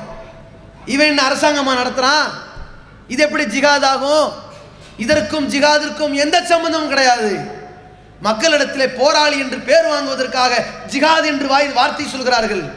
முஜாஹித் என்று பேசுகிறார்கள். இஸ்புல் முஜாஹித் என்றும் இந்தியன் முஜாஹித் என்றும் டெக்கன் முஜாஹித் என்றும் அப்படி ஒரு பேர் இருக்குதோ இல்லையோ அப்படி இருக்குன்னு சொன்னாதும் தப்பு. லஷ்கரே தைபா என்கின்றார்கள். ஐஎஸ்ங்கிறான் ஐஎஸ்ஐஎஸ்ங்கிறான் நீ வைக்கக்கூடிய இந்த கான்செப்ட் எதுவுமே ஜிகாது கிடையாது. ஆப்கானிஸ்தான்ல ஒசாமா பின் லேடன் செய்தது ஜிகாதா? எப்படி ஜிகாத் ஆகும் தன்னுடைய நாட்டை சூறையாட வருகிறார்கள். தன்னுடைய நாடு இஸ்லாமிய நாடாக இருக்கிறது. ராணுவ வீரர்களை வைத்து போராடுகிறான். அது ஜிகாத் என்று சொல்லலாம். இவன் என்ன பண்றான்? ரஷ்யாவோ ரஷ்யாவிற்கு எதிராக ரஷ்யாவில் உள்ள மக்களை அழிப்பதற்காக போரிடுவதற்காக அமெரிக்காவோடு கூட்டு சேர்ந்தவர்கள் இந்த ஆப்கானிஸ்தான்காரன். அங்கே ரஷ்யாவில் உள்ள மக்களை கொலை செய்கிறான். அப்பாவி பெண்கள் கொல்லப்படுகிறார்கள் சிறுவர்கள் கொல்லப்படுகிறார்கள். ஜிஹாதுக்கு என்ன விளக்கம் தெரியுமா? இஸ்லாம் சொல்லுகிற ஒரு விளக்கம் ஜிஹாது என்றால் இரண்டு ராணுவ வீரர்கள் இரண்டு நாட்டையோ இரண்டு சமுதாயத்தையோ சார்ந்த வீரர்கள் போரிட்டு கொண்டிருப்பார்கள். அந்த போர்க்கத்தில் நிற்கக்கூடிய நேரத்தில் கொலை செய்பவனுக்கும் தெரியும் ஏன் இருக்கிறோம் என்று. அங்கே கொல்லப்படுபவனுக்கும் தெரியும் எதற்கு வந்திருக்கிறோம் என்று. இப்ப இந்தியாவில் எல்லையோரத்தில் பிரச்சனை. இந்திய ராணுவ வீரர்கள் நிற்கிறாங்க இது இஸ்லாமிய நாடா இருந்தால் அதுக்கு பேர் ஜிகாது இந்திய ராணுவர்கள் நிற்கிறாங்க பாகிஸ்தான் ராணுவர்கள் நிற்கிறாங்க ரெண்டு பேருக்கு இடையில சண்டை வருது. இந்திய ராணுவ வீரருக்கு தெரியும் ஏன் நின்றுக்கிறோம் பாகிஸ்தான் ராணுவ வீரருக்கு தெரியும் ஏன் நிக்கிறோம் இதுக்கு பேர் ஜிகாது அது இஸ்லாமிய நாடு நடத்திருந்தால் அது ஜிகாது ஆனால் இன்றைக்கு ஒரு கோயில்கள்லையோ ஒரு சர்ச்சுகள்லையோ ஒரு மசூதியிலோ குண்டு வைக்கிறான்னு சொன்னால் அந்த குண்டு வெடிப்பில் சாகுறானே அந்த பெண்களுக்கு தெரியுமா? நோயாளிகளுக்கு தெரியுமா? குழந்தைகளுக்கு தெரியுமா? எதற்கு வைத்தார்கள் என்று? காரணமே தெரியப்படாவிட்டால் அதற்கு பேர் ஜிகாது இல்லை. அதை ஜிகாத் என்று சொல்வானே ஆனால் அவனுக்கு பேர் இஸ்லாமியன் அல்ல இனவெறியன். அப்படி ஒருவன் தன்னை முஸ்லீம் என்று சொல்வானே ஆனால் அவனை நாங்கள் முஸ்லீம் என்று சொல்ல மாட்டோம் மூடன் என்று சொல்வோம் காட்டு மிராண்டி என்று சொல்வோம். இஸ்லாமிய சமுதாயம் ஒட்டுமொத்தமாக நிராகரிக்கக்கூடியவர்கள் இவர்களை. அப்படி நிராகரிக்கக்கூடியவர்கள் எங்களோடு சேர்த்தால் எங்களுக்கு ஆத்திரம் வருமா வராதா? ஆதங்கம் வருமா வராதா? கோபம் வருமா வராதா? யோசிச்சு பாருங்க. இஸ்லாமிய மார்க்கம் இந்த அளவிற்கு தீவிரவாதத்தை எதிர்க்கக்கூடிய மார்க்கமாக இருக்கிறது. ஆனால் இன்றைக்கு மீடியாக்களில் திட்டமிட்டு பரப்பப்படுகின்ற அவப்பொழியின் காரணத்தினால் இஸ்லாமிய மார்க்கத்தை பற்றியும் இஸ்லாத்தை பற்றியும் முஸ்லீம்களை பற்றியும் தவறான கருத்துக்கள் பதிவுபடுகிறது. அதை அகற்றுவதற்கு தான் இந்த பிரச்சாரம். ஒரு விஷயத்தை நீங்கள் புரிந்து கொள்ள வேண்டும். இஸ்லாமிய சமுதாயத்திற்கு இந்த பிரச்சாரத்தை முஸ்லீம்களை அழைத்து நாங்கள் வீரியமாக செய்வதற்கான ஒரு காரணம் இருக்கிறது. என்னவென்று சொன்னால் ஸ்ரீ லக்ஷ்மி சங்கராச்சாரியா என்பவர் பேசுகிறார். ஒரு இந்து மத போதகராக இருந்தவர் பேசுகிறார். ஒரு இந்துவை நீ கொலை செய்தால் அதற்கு பேர் ஜிகாத் அதனால் இறைவன் புறத்திலிருந்து உனக்கு சொர்க்கம் கிடைக்கும் என்று நான் பல மேடைகளில் பேசியிருக்கிறேன். அது தப்புதான். அது தவறுதான். நான் அவ்வாறு பேசி இருக்கக்கூடாது எனக்கு அப்படி சொல்லப்பட்டதால் நான் பேசிவிட்டேன். ஆனால் இஸ்லாத்தில் அப்படி சொல்லப்படவில்லை என்பதை உணர்ந்து கொண்டதால் அது தவறு என்று நான் ஒத்துக்கொள்கிறேன். ஆனால் இது என்னுடைய தவறு மட்டுமல்ல. இப்படி இஸ்லாத்தில் சொல்லப்படவில்லை என்று முஸ்லீம்கள் என்னை சுட்டிக்காட்டியிருந்தால் நான் என்றைக்கோ நிறுத்தியிருப்பேன். முஸ்லீம்கள் என்னை திருத்தாதது உங்கள் மீதுள்ள தவறு என்று சொன்னாரே. அதை உணர்ந்து தான் இந்த சமுதாயம் பிரச்சாரத்தில் இறங்குகிறது. இஸ்லாமிய சமுதாயத்தை பற்றி இஸ்லாமியர்கள் மிக தெளிவான தண்ணீரை விளக்கம் கொடுக்க வேண்டிய நிர்பந்தத்தில் இருக்கிற பொழுது நாம் ஏன் கொடுக்காமல் இருக்கிறோம்? கொடுக்க வேண்டும். இஸ்லாம் தீவிரவாதத்தை போதிக்கவில்லை. அது தீவிரவாதத்தை எதிர்க்கக்கூடியதாக இருக்கிறது. இஸ்லாமிய மார்க்கம் ஒரு மிதவாதம். அது என்றும் எதிர்ப்பது தீவிரவாதம் என்பதை உலகத்தில் போதிக்க வேண்டிய நிர்பந்தம். ஒன்றை நாங்கள் உணர்ந்திருக்கிறோம். இஸ்லாத்தை பற்றிய நியாயத்தையும் அதன் வரலாற்றையும் அதனுடைய கொள்கையையும் யார் நியாயமாக உணர்ந்திருக்கிறார்களோ அவர்கள் எல்லா காலத்திலும் இஸ்லாத்தை புகழ்ந்திருக்கிறார்களே தவிர இகழ்ந்தது கிடையாது. வரலாற்றில் நீங்கள் பாருங்கள் சில தலைவர்களை நான் உங்களுக்கு சொல்கிறேன் நூற்றி ஐம்பது ஆண்டுகளுக்கு முன்னால் அரசியல் பிரமுகராக வந்தவர் பெரிய அளவிலே சமூக சேவராக திகழ்ந்தவர் ஜார்ஜ் பெர்னாட்சா சொல்கின்றார். தென்னாப்பிரிக்காவிலே ஐரோப்பியாவிலே இஸ்லாமிய மார்க்கம் நூறு ஆண்டுகளிலே பிரிட்டன் மட்டுமல்ல ஐரோப்பா முழுவதும் ஒரு மார்க்கம் மக்கள் மத்தியிலே அவர்களுடைய உள்ளத்திலே குடிகொள்ளும் என்று சொன்னால் அது இஸ்லாமாக இருக்கும் என்று சொல்கிறார். எதற்காக சொன்னார். என்ன காரணத்திற்காக சொன்னார்? நான் இஸ்லாத்தை படித்திருக்கிறேன் வரலாற்றை புரிந்திருக்கின்றேன் புரட்டி இருக்கிறேன். முகமது அவர்களுடைய நற்குணம் இந்த உலகத்திலே இந்த சமுதாய மக்களுக்காக இருபதாம் நூற்றாண்டில் எல்லா வகையான தேவைகளும் மக்களுக்கு தேவை என்று எத்தனையோ பிரச்சனைகளுக்கு தீர்வுகள் தேவை என்று மக்கள் நடுக்கத்திலே ஆழ்ந்திருப்பார்களே ஆனால் அதற்கான தீர்வு ஒரு சித்தாந்தத்தில் இருக்கும் என்றால் அது இஸ்லாமாக இருக்குது என்று சொன்னார். அந்த வரலாற்றை படித்ததால் அவர் சொல்கிறார். அதே போல மைக்கேல் ஹார்ட் அவர்கள் நூறு பேர் என்று ஒரு புத்தகத்தை எழுதுகிறார். தி ஹண்ட்ரட் என்ற அந்த புத்தகத்தின் பெயர். அந்த புத்தகத்தை எழுதிவிட்டு அந்த புத்தகத்திலே உலக வரலாற்றை புரட்டி போட்ட சமூக சேவகர்கள் அரசியல்வாதிகள் ஆன்மீகவாதிகள் வள்ளல்கள் மன்னர்கள் எல்லோரையும் கொண்டு வந்து சேர்க்கிறார். அவர் பெயர் மைக்கேல் ஹார்ட். கிறிஸ்தவராக இருக்கிறார். முதல் இடத்தை யாருக்கு கொடுத்திருப்பார்? ஒரு கற்பனை எப்படி இருக்கும்? இயேசுநாதர் கொடுத்திருக்க வேண்டும். ஆனால் அந்த நூறு பேரில் இயேசுநாதரை கொண்டு வருகிறார். காந்தியடிகளை கொண்டு வருகிறார். மோசேவை கொண்டு வருகிறார். முகமது நபியை கொண்டு வருகிறார். முகமது அவர்களுக்கு அவர் கொடுத்த இடம் எது தெரியுமா? நூறு பேரிலே முதல் இடத்திலே மாமனிதர் சல்லல்லா அலிஸ்லாம் அவர்களை வைக்கின்றார். அவர் சொல்கிறார் இன்றைய உலகத்திலே நான் கிறிஸ்தவனாக இருந்து கொண்டு முதல் இடத்திலே முகமது நபியை வைத்தது கிறிஸ்தவ சமுதாயத்திற்கு ஆச்சரியத்தில் ஆழ்த்தியிருக்கலாம் வியப்பில் ஆழ்த்தியிருக்கலாம். ஆனால் அதற்கு பல்வேறு நியாயங்கள் உண்டு என்று நியாயங்களை பட்டியல் போடுகிறார். முதலாவது காரணம் இந்த சமுதாயத்திலே நான் பட்டியல் போட்ட நூறு பேரிலே தொண்ணூத்தி ஒன்பது பேர் ஒரு குறிப்பிட்ட சமுதாயத்திற்கு வந்தவர்கள். ஆனால் முகமது நபி மட்டும் முஸ்லிம்களுக்கும் முஸ்லிம் அல்லாத மக்களுக்கும் தன்னுடைய வாழ்க்கை வழிமுறைகளை பரவிவிட்டு சென்று விட்டார் என்று சொன்னார். எப்படிப்பட்ட பரவுதல்? இஸ்லாமிய மார்க்கத்தினுடைய பேச்சின் தொடக்கமே தீவிரவாதத்தை நொறுக்கக்கூடியதாக இருக்கிறது. ஒருவன் இன்னொருவனை சந்திக்கிற பொழுது குட் மார்னிங் என்றும் குட் ஈவினிங் என்றும் குட் நைட் என்றும் வணக்கம் என்றும் நமஸ்தே என்றும் நமஸ்கார் என்றும் பேசிக்கொண்டிருக்கக்கூடிய வழக்கம் இருக்கிறது. பேச்சினுடைய துவக்கம் நன்றாக இருந்தால் முடிவுரை வரைக்கும் நன்றாக இருக்கும் என்கிற ஒரு சைக்காலஜியில் என்ன சார் நல்லா இருக்கீங்களா? பார்த்து ரொம்ப நாள் ஆச்சு ஆரம்பிப்பான். உடல்நிலை சரியில்லை என்ன சார் உங்களுக்கு உடம்பு சரியில்லைன்னு கேள்விப்பட்டேன் இப்போ அப்படி இருக்குது? ஆரம்பிப்பான். இதெல்லாம் எதற்கு? ஒரு நல்லிணக்கத்தின் தொடக்கம். இஸ்லாமிய மார்க்கம் சொல்கிறது அல்லாவுடைய தூதர்கள் சொல்கிறார்கள் முஸ்லிம்களை பார்த்து சொல்கிறார்கள் லா தது குழுல் ஜன்னத் ஹத்தா தூமினு. மக்களே நீங்கள் சொர்க்கத்தில் நுழைய வேண்டும் என்று சொன்னால் ஈமான் கொள்ள வேண்டும். இறைவனை நம்பாத வரை நீங்கள் சொர்க்கத்தில் நுழைய முடியாது. வலா தூமினு ஹத்தா தஹாபு. நீங்கள் இறைவனை நம்ப வேண்டும் என்றால் என்ன செய்ய வேண்டும் தெரியுமா? ஒருவரை ஒருவர் நேசிக்க வேண்டும். ஒருவரை ஒருவர் நீங்கள் நேசிக்காவிட்டால் உங்களுக்கு இடையிலே சகோதரத்துவம் இல்லாவிட்டால் நீங்கள் ஈமான் கொண்ட இறை நம்பிக்கை கொண்ட முஸ்லீமாக ஆக முடியாது என்று சொல்கிறார்கள். நபித்தோழர்கள் கேட்கிறார்கள் நாங்கள் முஸ்லீமாக ஆக வேண்டும் ஒருவரை ஒருவர் நேசிக்க வேண்டும் சொர்க்கத்தில் நுழைய வேண்டும் என்ன செய்ய வேண்டும்? ஆப்ஷு சலாம் சலாத்தை பரப்புங்கள் என்று சொன்னார்கள். இன்னொரு இடத்திலே சொல்கிறார்கள் அமைதியை பரப்புங்கள் லிமன் அரப்தவ மல்லம் தாரிஃப் தெரிந்தவனுக்கும் தெரியாதவனுக்கெல்லாம் சலாம் சொல்லு. எந்த மதமாக ஜாதியாக யாராக இருக்கட்டும் அஸ்ஸலாம் அலைக்கும் உங்கள் மீது அந்த ஏக இறைவனின் அமைதி நிலவட்டுமாக என்று சொன்னால் பேச்சின் தொடக்கமே இப்படி இருந்தால் இறுதி முடிவுரை எப்படி இருக்கும்? நான் கேட்குறேன் அனைத்து சமுதாய மக்களையும் உட்கார வைத்து உங்கள் மீது அந்த ஏக இறைவனின் அமைதி உண்டாக நான் பிரார்த்தனை செய்கிறேன் என்று தொடங்குபவன் தீவிரவாதத்தை சொல்வானா? எப்படி தீவிரவாதத்திற்கு இஸ்லாமிய மார்க்கம் மூட்டை கட்டி இருக்கிறது என்று பாருங்கள். அதே போல பெருமானா சல்லல்லா அலிஸ்லம் அவர்கள் அனைத்து சமுதாய மக்களிடத்திலே இந்த அமைதியை பரப்பச் சொன்னார்கள். அதைத்தான் மைக்கேல் ஹார்ட் அவர்கள் சொன்னார்கள். அவர் முஸ்லீம்களுக்கு மட்டும் வரவில்லை முஸ்லீம் அல்லாத மக்களுக்கும் வாழ்ந்து காட்டிவிட்டு சென்றிருக்கிறார்கள். இரண்டாவது நான் தொகுத்த நூறு பேருடைய வரலாற்று பட்டியலிலே தொண்ணூத்தி ஒன்பது பேருடைய வரலாறை ஆங்காங்கே தேடி கண்டுபிடித்தேன்.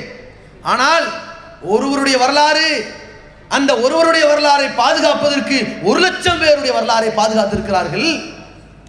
ஆயிரத்தி நானூறு ஆண்டுகளாக ஒரு வரலாறு திட்டவட்டமாக பாதுகாக்கப்பட்டு புடம்போட்ட தங்கங்களாக வைக்கப்பட்டது இந்த முகமதுடைய வரலாறு என்பதால் தான் தூய்மையான வரலாறு என்ற முதலிடம் கொடுத்தேன். மூன்றாவது சொல்கின்றார் முகமது அவர்களை நான் முதல் இடத்தில் வைத்ததற்கு காரணம் என்ன தெரியுமா? இந்த தூதர் உலகத்திற்கு தர்மத்தை போதிக்க வந்தார். எப்படி தெரியுமா? போர்க்களத்தில் கூட பெண்களை கொல்லக்கூடாது இரவில் போர் செய்யக்கூடாது குழந்தைகளை கொல்லக்கூடாது தூதர்களை கொல்லக்கூடாது என்று போர்க்கே தர்மம் விளைவித்த தர்மகர்த்தா இவர். எனவே முதலிடத்தில் வைத்தேன் என்று சொல்கிறார். அடுத்து சொல்கிறார் இந்த முகமது அவர்களை நான் முதலிடத்தில் வைத்ததற்கு காரணம் இவரிடத்தில் இருந்த வியப்பான வெற்றிகள் உயர்ந்த லட்சியம் குறைந்த வசதிகள். ஆனால் எல்லாமே வியப்பான வெற்றிகளாக அமைந்திருக்கிறது. நான் இன்றைக்கு எத்தனையோ பேருடைய வரலாறை பதித்திருக்கிறேன். அவர்களை பற்றி நீங்கள் அறிந்து கொள்வதென்றால் பல கோட்டைகளை பார்க்கலாம். அவர்கள் கட்டி வைத்த கோட்டை அவருடைய வரலாறு சொல்லும். அவருடைய கல்வெட்டுகள் அவருடைய வரலாறு சொல்லும். ஆனால் முகமது அவர்களை பார்த்தேன். அவருக்கு கோட்டை இல்லை. அவருடைய வீடு கோட்டைகளாக இல்லை. அவருடைய வீடு எப்படி இருந்தது தெரியுமா? அந்த வீட்டுக்கு வாயில் கதவு கூட இல்லை. விரிக்கின்ற பாய்தான். இரவிலே விரிப்பதற்கு பாய் பகலிலே கதவாக பாட்டப்படுகிறது. அந்த தூதருக்கு கோட்டை இல்லை. ஆனால் அந்த தூதர் கோட்டையே இல்லாத தூதர் இன்றைக்கு கோடான கோடி மக்களுடைய உள்ளங்களில் கோட்டை கட்டிவிட்டார் அதனால் தான் முதலிடத்தில் வைத்து என்று சொல்கிறார். இஸ்லாத்தை அறிந்த காரணத்தினால் இவருடைய நாவிலிருந்து வந்த வார்த்தைகள் பாருங்கள். அல்லாஹ்வுடைய தூதரவருடைய ஒரு வழிமுறை எப்படி அடுத்தவருடைய உள்ளங்களில் கோட்டை கட்டுகிறது? அந்த வழிமுறையினுடைய வலிமை மேர்மடியுக் பிக்தால் என்பவருடைய வரலாறை பாருங்கள். ஒரு நாள் ஒரு கட்டடத்தில் இருந்து வேடிக்கை பார்த்து கொண்டிருக்கிறார். லெபனான் நாட்டிற்கு அவர் தூதராக போயிருக்கிறார். சில ஆண்டுகளுக்கு முன்னால் அவர் அந்த கட்டிடத்திலிருந்து பார்த்து கொண்டிருக்கும் பொழுது பெரிய வாய்த்தரார் நடக்கிறது. யார் கடையில் ஒரு வயதான முதியவருக்கும் ஒரு இளைஞர் கடையில் சண்டை. கடுமையான தர்க்கம். நேராக போய் பார்க்குறாரு. அந்த இளைஞர்கிட்ட கேட்குறாரு நீ முஸ்லீமாக இருக்கிற? அந்த கிழவன் யூதனாக இருக்கிறான். இது லெபனான் நாடு. மெஜாரிட்டி முஸ்லீம் வாழ்கிற நாடு. யூதனனை திரி போட்டு அடிக்கலாம். அடிச்சிருந்தா உனக்கு ஆதரவாக பெரிய சமுதாயம் வரும். ஆனால் நீ அடிக்கல. வாய்க்கு வந்துபடி வந்தால் பேசுகிறான் அவன் கிழவன் நீ குமரன். திருப்பி அடிச்சிருக்கலாமே. சக்தி இல்லையா? திராணி இல்லையா? தைரியம் இல்லையா? கேட்குறார் அப்பொழுது அவர் சொன்னார் அந்த இளைஞர் சொல்லுகிற வார்த்தை நபிகள் நாயகம் ஸல்லல்லாஹு அவர்கள் சொல்லியிருக்கிறார்கள் இன்னலி சாஹிபி மக்கால் கடன் கொடுத்தவனுக்கு திட்டுவதற்கு உரிமை உண்டு என்று சொன்னார்கள்.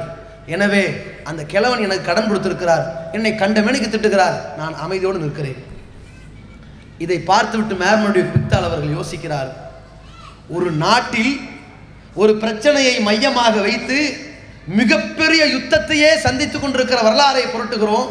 ஆனால் இந்த முகமதை நேரில் பார்க்காத இந்த மனிதர் அவரை நம்பி அவர் சொல்லுக்கு மரியாதை கொடுத்து அதை பின்பற்றி அந்த வார்த்தைக்காக தன் கோபத்தை அடக்கி ஒரு நாட்டில் அமைதியை நிலவச் செய்திருக்கிறார். உண்மையிலேயே மிகப்பெரிய மார்க்கம் இஸ்லாம் என்று புரட்டுகிறார். புரட்டியதன் விளைவு அவருடைய உள்ளத்திலும் இஸ்லாம் கொள்ளை கொள்கிறது. மேர்மடியு பிக்தால் முகமது பிக்தாலாக மாறுகிறார். பிறகு யோசிக்கிறார் நாம் ஏன் இந்த இஸ்லாத்தை ஆங்கிலத்திலே மக்களிடத்தில் கொண்டு போய் சேர்க்கக்கூடாது?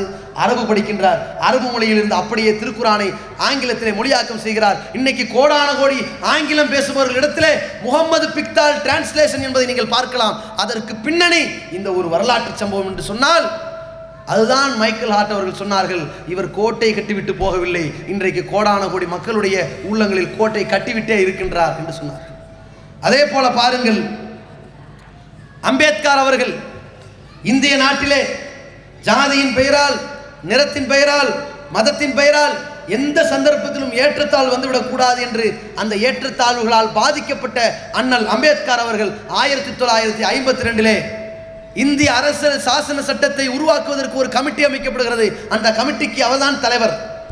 முதல் பிரதமராக ஜவஹர்லால் நேரு இருக்கிறார். முதல் குடியரசுத் தலைவராக ராஜேந்திர பிரசாத் இருக்கிறார். அந்த கமிட்டியின் தலைவராக இருந்த அண்ணல் அம்பேத்கர் அவர்கள் சொல்கிறார்கள் நான் இஸ்லாத்தை படித்திருக்கின்றேன். இஸ்லாத்தை பற்றி முகமது நபியை பற்றி என்னால் சொல்ல இயலாது. ஏன் தெரியுமா? மனித குலத்திலே ஏற்றத்தாழ்வுகள் கிடையாது என்று ஜாதி மத கொடுமைகளை எல்லாம் ஒழித்து கட்டிய முகமது அவர்களை புகழ்வதற்கு என்னிடத்தில் வார்த்தைகள் இல்லவே என்று அம்பேத்கர் அவர்கள் சொல்லியிருக்கிறார்கள் என்றால் வரலாற்றை அறிந்திருக்கிறார்கள். அதனால் அப்படி பேசுகிறார்கள். அதே போல தமிழன்பன் அவர்கள் ஈரோடு கவிஞர் சாகித்ய அகாடமி விருது பெற்றவர் இந்தியாவிலே புகழ்பெற்ற ஒரு கவிஞர். அவருடைய பேச்சுக்கள் கவிதை நடையிலே சொற்பொழிவுகளாக மொழியும். இன்னைக்கு பார்க்குறோம் பிற மதத்தவர்களுக்கு பிரச்சாரம் செய்கிறோம். எப்படி இஸ்லாம் தீவிரவாதத்தை எதிர்க்குது என்று பிரச்சாரம் பண்ணோம். இதன் விளைவாக நல்ல ஒரு நல்லிணக்கம் ஏற்பட்டுக்கிட்டு இருக்குது. இதிலேயே சமீபத்தில் கன்னியாகுமரி மாவட்டத்தில் இந்து முன்னணியை சார்ந்த சில சகோதரர்களுக்கு நம்முடைய இஸ்லாமிய சகோதரர்கள் துண்டு பிரசுரத்தை கொடுக்குறாங்க. இஸ்லாம் தீவிரவாதத்தை போதிக்கிறதா? இதான் தலைப்பு. அது கீழே என்ன தெரியுமா? தேசத்தை காக்க நேசத்தை வளர்ப்போம். இதை பார்த்தோன்னு அவர் சொன்னார். இப்படிப்பட்ட ஒரு செயல் திட்டத்தை இருபது ஆண்டுகளுக்கு முன்னால் நீங்கள் தொடங்கி இருக்க கூடாதா? கேட்டார் அல்லவா? அது அந்த அவ்வளோ பெரிய ஒரு தாக்கம். அந்த வார்த்தை நயமே ஒரு இலக்கியமாக கொடுத்தால் அது நச்சு நிற்கும். அது மாதிரி தமிழன்பன் அவர்கள் சொல்கிறார்கள் நான் முகமது அவருடைய வரலாறை படித்திருக்கின்றேன். அவர் ஒட்டகங்கள் பிறந்த தேசத்தில் பிறந்தார். ஒட்டாத பல உள்ளங்களை எல்லாம் ஒட்டி வைத்து விட்டார் என்று சொன்னார்கள். அந்த அளவிற்கு இந்த தமிழன்பன் அவர்கள் புகழக்கூடிய வகையிலே முகமது அவர்களுடைய வாழ்க்கை இஸ்லாமிய மார்க்கம் எவ்வளவு ஒரு சகிப்புத்தன்மை மிக்க ஒரு சகோதரத்துவம் மிக்க மார்க்கமாக உலகத்தில் போயிருக்கிறது பாருங்கள். அதே மாதிரி விவேகானந்தா அவர்கள் இன்றைக்கு ஒரு சமுதாயம் அவர்கள் தனியாக குத்தையை கெடுத்திருக்கலாம் ஆனால் அந்த விவேகானந்தா அவர்கள் பல்வேறு மதத்தவர்கள் குழுமி இருக்கின்ற மத அறிஞர்கள் சேர்ந்திருக்கிற ஒரு மாநாட்டிலே பேசுகிறார்கள். இன்றைக்கு எத்தனையோ மத கோட்பாடுகள் இருக்கின்றது. அதனுடைய கொள்கைகள் இருக்கிறது அதனுடைய சித்தாந்தங்கள் இருக்கிறது. சித்தாந்தங்கள் அழகாக இருந்து என்ன புண்ணியம்? சொற்கள் அழகாக இருந்து என்ன புண்ணியம்? ஆனால் முகமது அவர்கள் மட்டும்தான் ஆண்டவனுக்கு முன்னால் அனைவரும் சமம் என்பதை சொல்லாலும் மக்களிடத்தில் எடுத்துரைத்தார்கள்.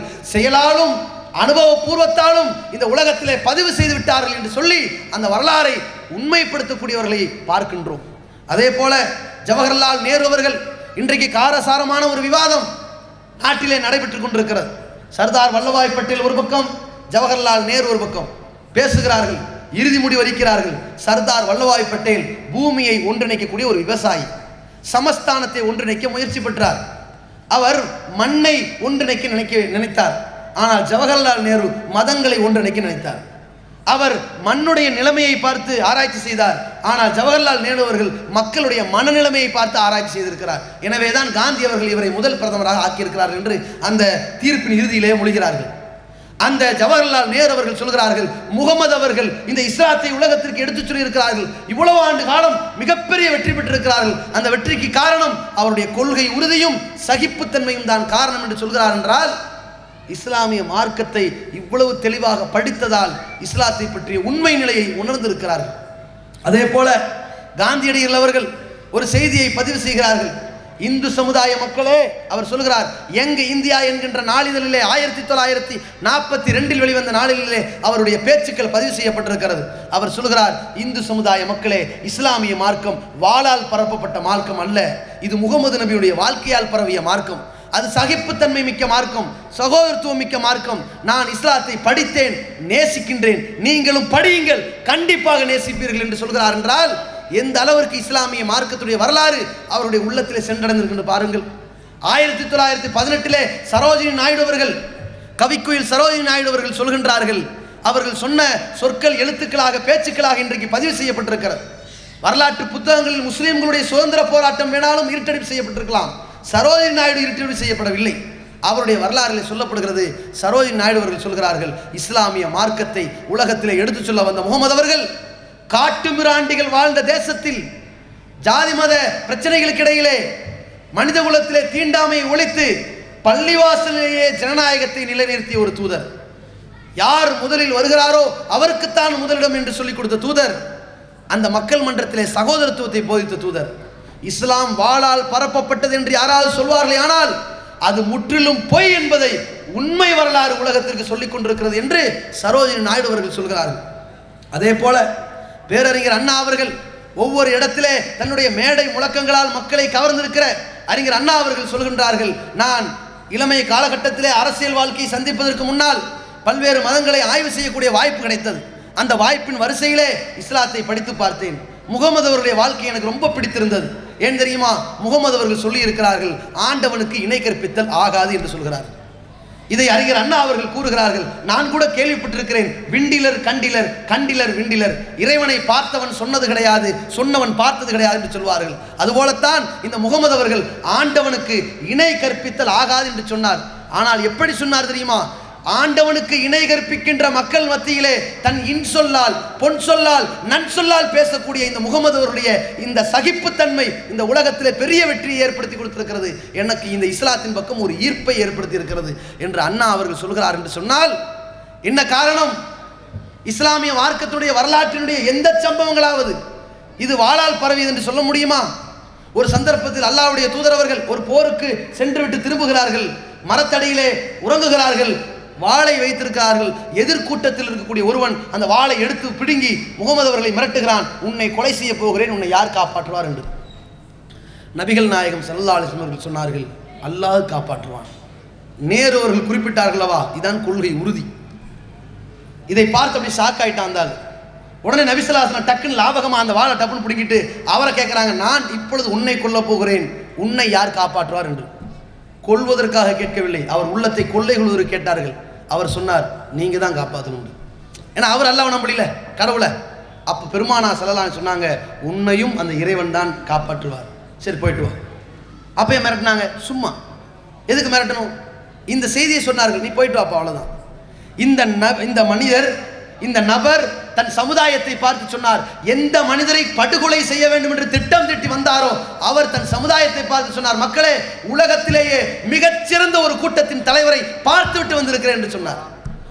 அது போன்ற ஒரு மாற்றம் இந்த வரலாறு உண்மைப்படுத்தும் இஸ்லாம் வாளால் பரவவில்லை முகமது அவர்களுடைய வாழ்க்கையால் பரவியது என்று.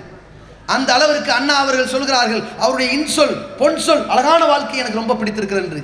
பெருமானா சல்லல்லா அலிஸ்லாம் அவர்கள் எப்படிப்பட்ட ஒரு ஆன்மீக வாழ்க்கை தொழுகிறார்கள். தொழுகிற பொழுது சொல்கிறார்கள் நான் தொழுகையை நீட்டி தொழலாம் என்று ஆசைப்பட்டேன். ஆனால் எனக்கு பின்னால் தொழுது கொண்டிருக்கின்ற ஒரு பெண்மணி தன் கையிலே வைத்திருக்கிற குழந்தையின் அழுகுரலை கேட்கின்றேன். அந்த குழந்தையின் அழுகுரலால் அந்த தாய்க்கு ஏற்பட்ட வருத்தம் இந்த தொழுகையை நான் சுருக்கிவிட்டேன் என்று சொல்கிறார்கள் எவ்வளவு பெரிய ஒரு இரக்கம். தன்னுடைய பேர பிள்ளை பிள்ளைகளை முத்தம் கொஞ்சுகிறார்கள். ஒரு கிராமவாசி வந்து கேட்கிறார் அல்லாவின் சுதிரை குழந்தைக்கு முத்தமெல்லாம் கொடுப்பீங்களோ? அவர் ஆச்சரியமா இருக்கு.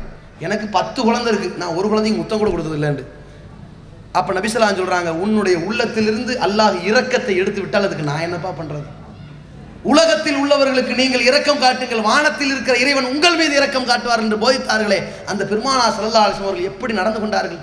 ஒரு ஆட்சித் தலைவர் ஒரு ஆன்மீக தலைவர் ஒரு குடும்பத் தலைவர் அவரிடத்திலே கொண்டு வந்து ஒரு குழந்தை மடியில் வைக்கப்படுகிறது. அந்த குழந்தை திடீரென்று சிறுநீர் கழித்து விடுகிறது. நம்ம ஒரு பெரிய ஆட்சித் தலைவர் கூட்டிட்டு வந்து உட்கார வச்சு குழந்தை சிறுநீர் கழிச்சா என்ன ஆகும்? ஆன்மீக தலைவருக்கு போட்ட சீட்டே வித்தியாசமாக இருக்கும். அவர் நல்லவர் வல்லவர் திறம்படவர் எப்போ கையும் களமா பிடிபடுற வரைக்கும் நல்லவர். பிடிபட்டவன போலி அப்படின்றவாங்க. அது வரைக்கும் அவருக்கு வேற கோழின்னு இருக்கும். இப்போ இவரை தூக்கிட்டு வந்து உட்கார வச்ச இடமே பார்த்தீங்கன்னா இருக்கிறவங்களாம் நீல அவருக்கு சிகப்பு சிம்மாசனமாக இருப்பார். இந்த மாதிரி ஒரு ஆள் மடியில் கொண்டு போய் உட்கார வச்சு டக்குன்னு சிறுநீர் கழிச்சா என்ன பண்ணுவார்? சனியை வந்து இங்கே வந்து உட்காந்துருக்கு என்று கேட்பார். அந்த தாய் என்ன பண்ணுவா? மூதேவி மூதேவி அங்கேயா போய் பேயணும் அப்படின்னு இவ திட்டுவா. ஒன்றும் தெரியாத குழந்தை வேதனைப்படும். பெருமானா சல்லா அலிஸ்லம் மடியிலும் கொண்டு வந்து வைத்தார்கள். அல்லாவுடைய தூதர்கள் ஆவேசப்படவில்லை ஆத்திரப்படவில்லை ஆக்ரோஷமாக கொந்தளிக்கவில்லை ஆன்மீகத்தை போதித்தார்கள். அந்த குழந்தை எடுத்துவிட்டு சொன்னார்கள் ஆண் குழந்தை வெறும் பால் மட்டும் குடிக்கின்ற குழந்தை சிறுநீர் கழித்தால் தண்ணீர் தெளித்தால் போதுமானது. அல்லாவுடைய தூதர்கள் சொன்னார்கள். உலகத்தில் இப்படி ஒரு இரக்கத்தை போதித்தவர்கள் உண்டா? அதனால் தான் பெருமானா சல்லல்லா அலிஸ்லமுடைய வரலாறை சரோஜினி நாயுடு அவர்கள் குறிப்பிடுகின்றார்கள் உலக வரலாற்றிலே யாராவது வாளால் பரவப்பட்டது என்று சொல்வார்கள் ஆனால் அவர்கள் பொய்யைத்தான் இட்டு கட்டுகிறார் என்று சொல்கிறார் என்றால் இந்த பெருமானா ஸல்லல்லாஹு வாழ்க்கை எந்த அளவிற்கு எல்லாருடைய உள்ளத்திலும் பதம் பார்த்திருக்கிறது பாருங்கள். அந்த உண்மை வரலாறை நாம் இந்த இந்து சமுதாய மக்களிடத்திலே கிறிஸ்தவ அன்பர்களிடத்திலே நாத்திக சகோதரிடத்திலே கொண்டு போய் சேர்த்தால் இஸ்லாத்தை பற்றிய தவறான அபிப்பிராயங்கள் தப்பான எண்ண ஓட்டங்கள் திட்டமிட்டு விதைக்கப்படுகின்ற தவறான குற்றச்சாட்டுகள் அகற்றப்படும் என்பதால் தான் இந்த பிரச்சாரத்தை கையிலெடுத்தோம். அந்த அடிப்படையில் எல்லா மக்களையும் சந்தித்து சொல்லிக் கொண்டிருக்கின்றோம். இறுதியாக நாம் சில கோரிக்கைகளை அரசாங்கத்திற்கு வைக்கின்றோம். அரசாங்கத்தை சார்ந்தவர்கள் மத்திய மாநில அதிகாரிகள் இன்றைக்கு வந்திருக்கக்கூடிய ஊடகவியலாளர்கள் உளவுத்துறையினர்கள் பல்வேறு செய்திகளை நீங்கள் பதிவு செய்வீர்கள். இந்த உளவுத்துறைக்கு தெரியும் அல் கைதா என்ற இயக்கம் இந்தியாவிலே தாக்குதல் நடத்துகிறோம் என்று ஒரு அறிவிப்பு செய்தவுடன் அந்த செய்தி வெளியாகிறவுடன் இஸ்லாமிய சமுதாயத்தின் சார்பில் ஒரு சுவரொட்டி எல்லா இடங்களிலும் ஒட்டப்பட்டது. இஸ்லாத்தின் வளர்ச்சிக்கு எதிராகவும் முட்டுக்கட்டையாகவும் திகழ்கின்ற அல் கைதா இயக்கத்தை இந்திய முஸ்லிம்கள் இந்தியாவை விட்டு விரட்டி அடிப்பார்கள் என்று நாங்கள் ஒட்டினோம். இந்த கருத்தை நீங்கள் உணர்ந்தீர்கள். மத்திய அளவில் நீங்கள் பதிவு செய்தீர்கள். எங்களுக்கு தெரியும். அதே அடிப்படையிலே சொல்கின்றோம். நீங்கள் சுதந்திர பொன்விழாவை சந்திக்கிறீர்கள். மத்திய மாநில அமைச்சர்கள் சந்திக்கிறார்கள். முதல்வர்கள் முதல் பிரதமர்கள் வரை குடியரசுத் தலைவர்களை சந்திக்கிறார்கள். அதில் எத்தனையோ வரலாறுகளை பேசுகிறீர்கள். அந்த வரலாற்றின் ஆங்காங்கு ஓரங்களிலே இஸ்லாமிய சமுதாயம் செய்த தியாகங்கள் தொண்டுகள் அள்ளி வழங்கிய வள்ளல் தன்மைகள் அதையும் சற்று பதிவு செய்து கொள்ளுமாறு உங்களை தாழ்மையோடு கேட்டுக்கொள்கிறோம். இந்திய சமுதாயத்தில் இந்து மக்களோடு சேர்ந்து தன் சதவீதத்திற்கும் அதிகமாக தியாகம் செய்த இஸ்லாமிய சமுதாயத்தினுடைய வரலாறுகளை நீங்கள் பதிவு செய்வதற்கு பேசுவதற்கு விளக்குவதற்கு வானொலிகளிலும் தொலைக்காட்சிகளிலும் ஊடகங்களிலும் பரப்புவதற்கு நீங்கள் எங்களுக்கு ஒத்துழைப்பு தாருங்கள் என்று உங்களை கேட்கின்றோம். அதே போல பத்திரிகையாளர்கள் நீங்கள் நியாயமான உள்ளங்களாக பல இடங்களிலே எங்களுக்கு நடந்து கொண்டிருக்கிறீர்கள். பல சந்தர்ப்பங்களிலே உதவி கொண்டிருக்கிறீர்கள். இந்த தீவிரவாத எதிர்ப்பு பிரச்சாரத்தை மக்கள் மன்றத்திலே கொண்டு போய் சேர்க்கின்றீர்கள். உங்களை பார்த்து சொல்கின்றோம். ஒரு இந்து சமுதாயத்தை சார்ந்தவன் ஒரு மத துவேஷத்திலே ஈடுபடுவானே ஆனால் மத துவேஷ வார்த்தைகளை பேசுவானே ஆனால் மேடை போட்டு பேசுவானே ஆனால் டிவியிலே கிறுக்கனை போன்று உளருவானே ஆனால் அவனோடு இந்து சமுதாயத்தை சேர்த்து விடாதீர்கள். அவனை தனித்து விடுங்கள் சுத்திகரித்து விடுங்கள் அப்புறப்படுத்தி விடுங்கள் அவனை காட்டுமிரான் என்று ஒதுக்கி விடுங்கள். அவன் முஸ்லீமாக இருந்தாலும் சரி இந்துவாக இருந்தாலும் சரி கிறிஸ்தவனாக இருந்தாலும் சரி தீவிரவாதத்திற்கு மதங்கள் கிடையாது என்ற கொள்கையை நீங்கள் மிக தெளிவாக கடைபிடிங்கள் என்று மீடியாக்களுக்கும் சொல்கின்றோம். பயங்கரவாதத்தை வேறொருப்போம் பயமில்லா வாழ்வுக்கு பாதை அமைப்போம் என்று சொல்லி என்னுடைய உரையை நிறைவு செய்கின்றேன். வாக்குதுவான் அலமதுல்லா இருபில் ஆலமீன். அஸ்லாம் வலைக்கும் வரமத்துல அல்லாஹ்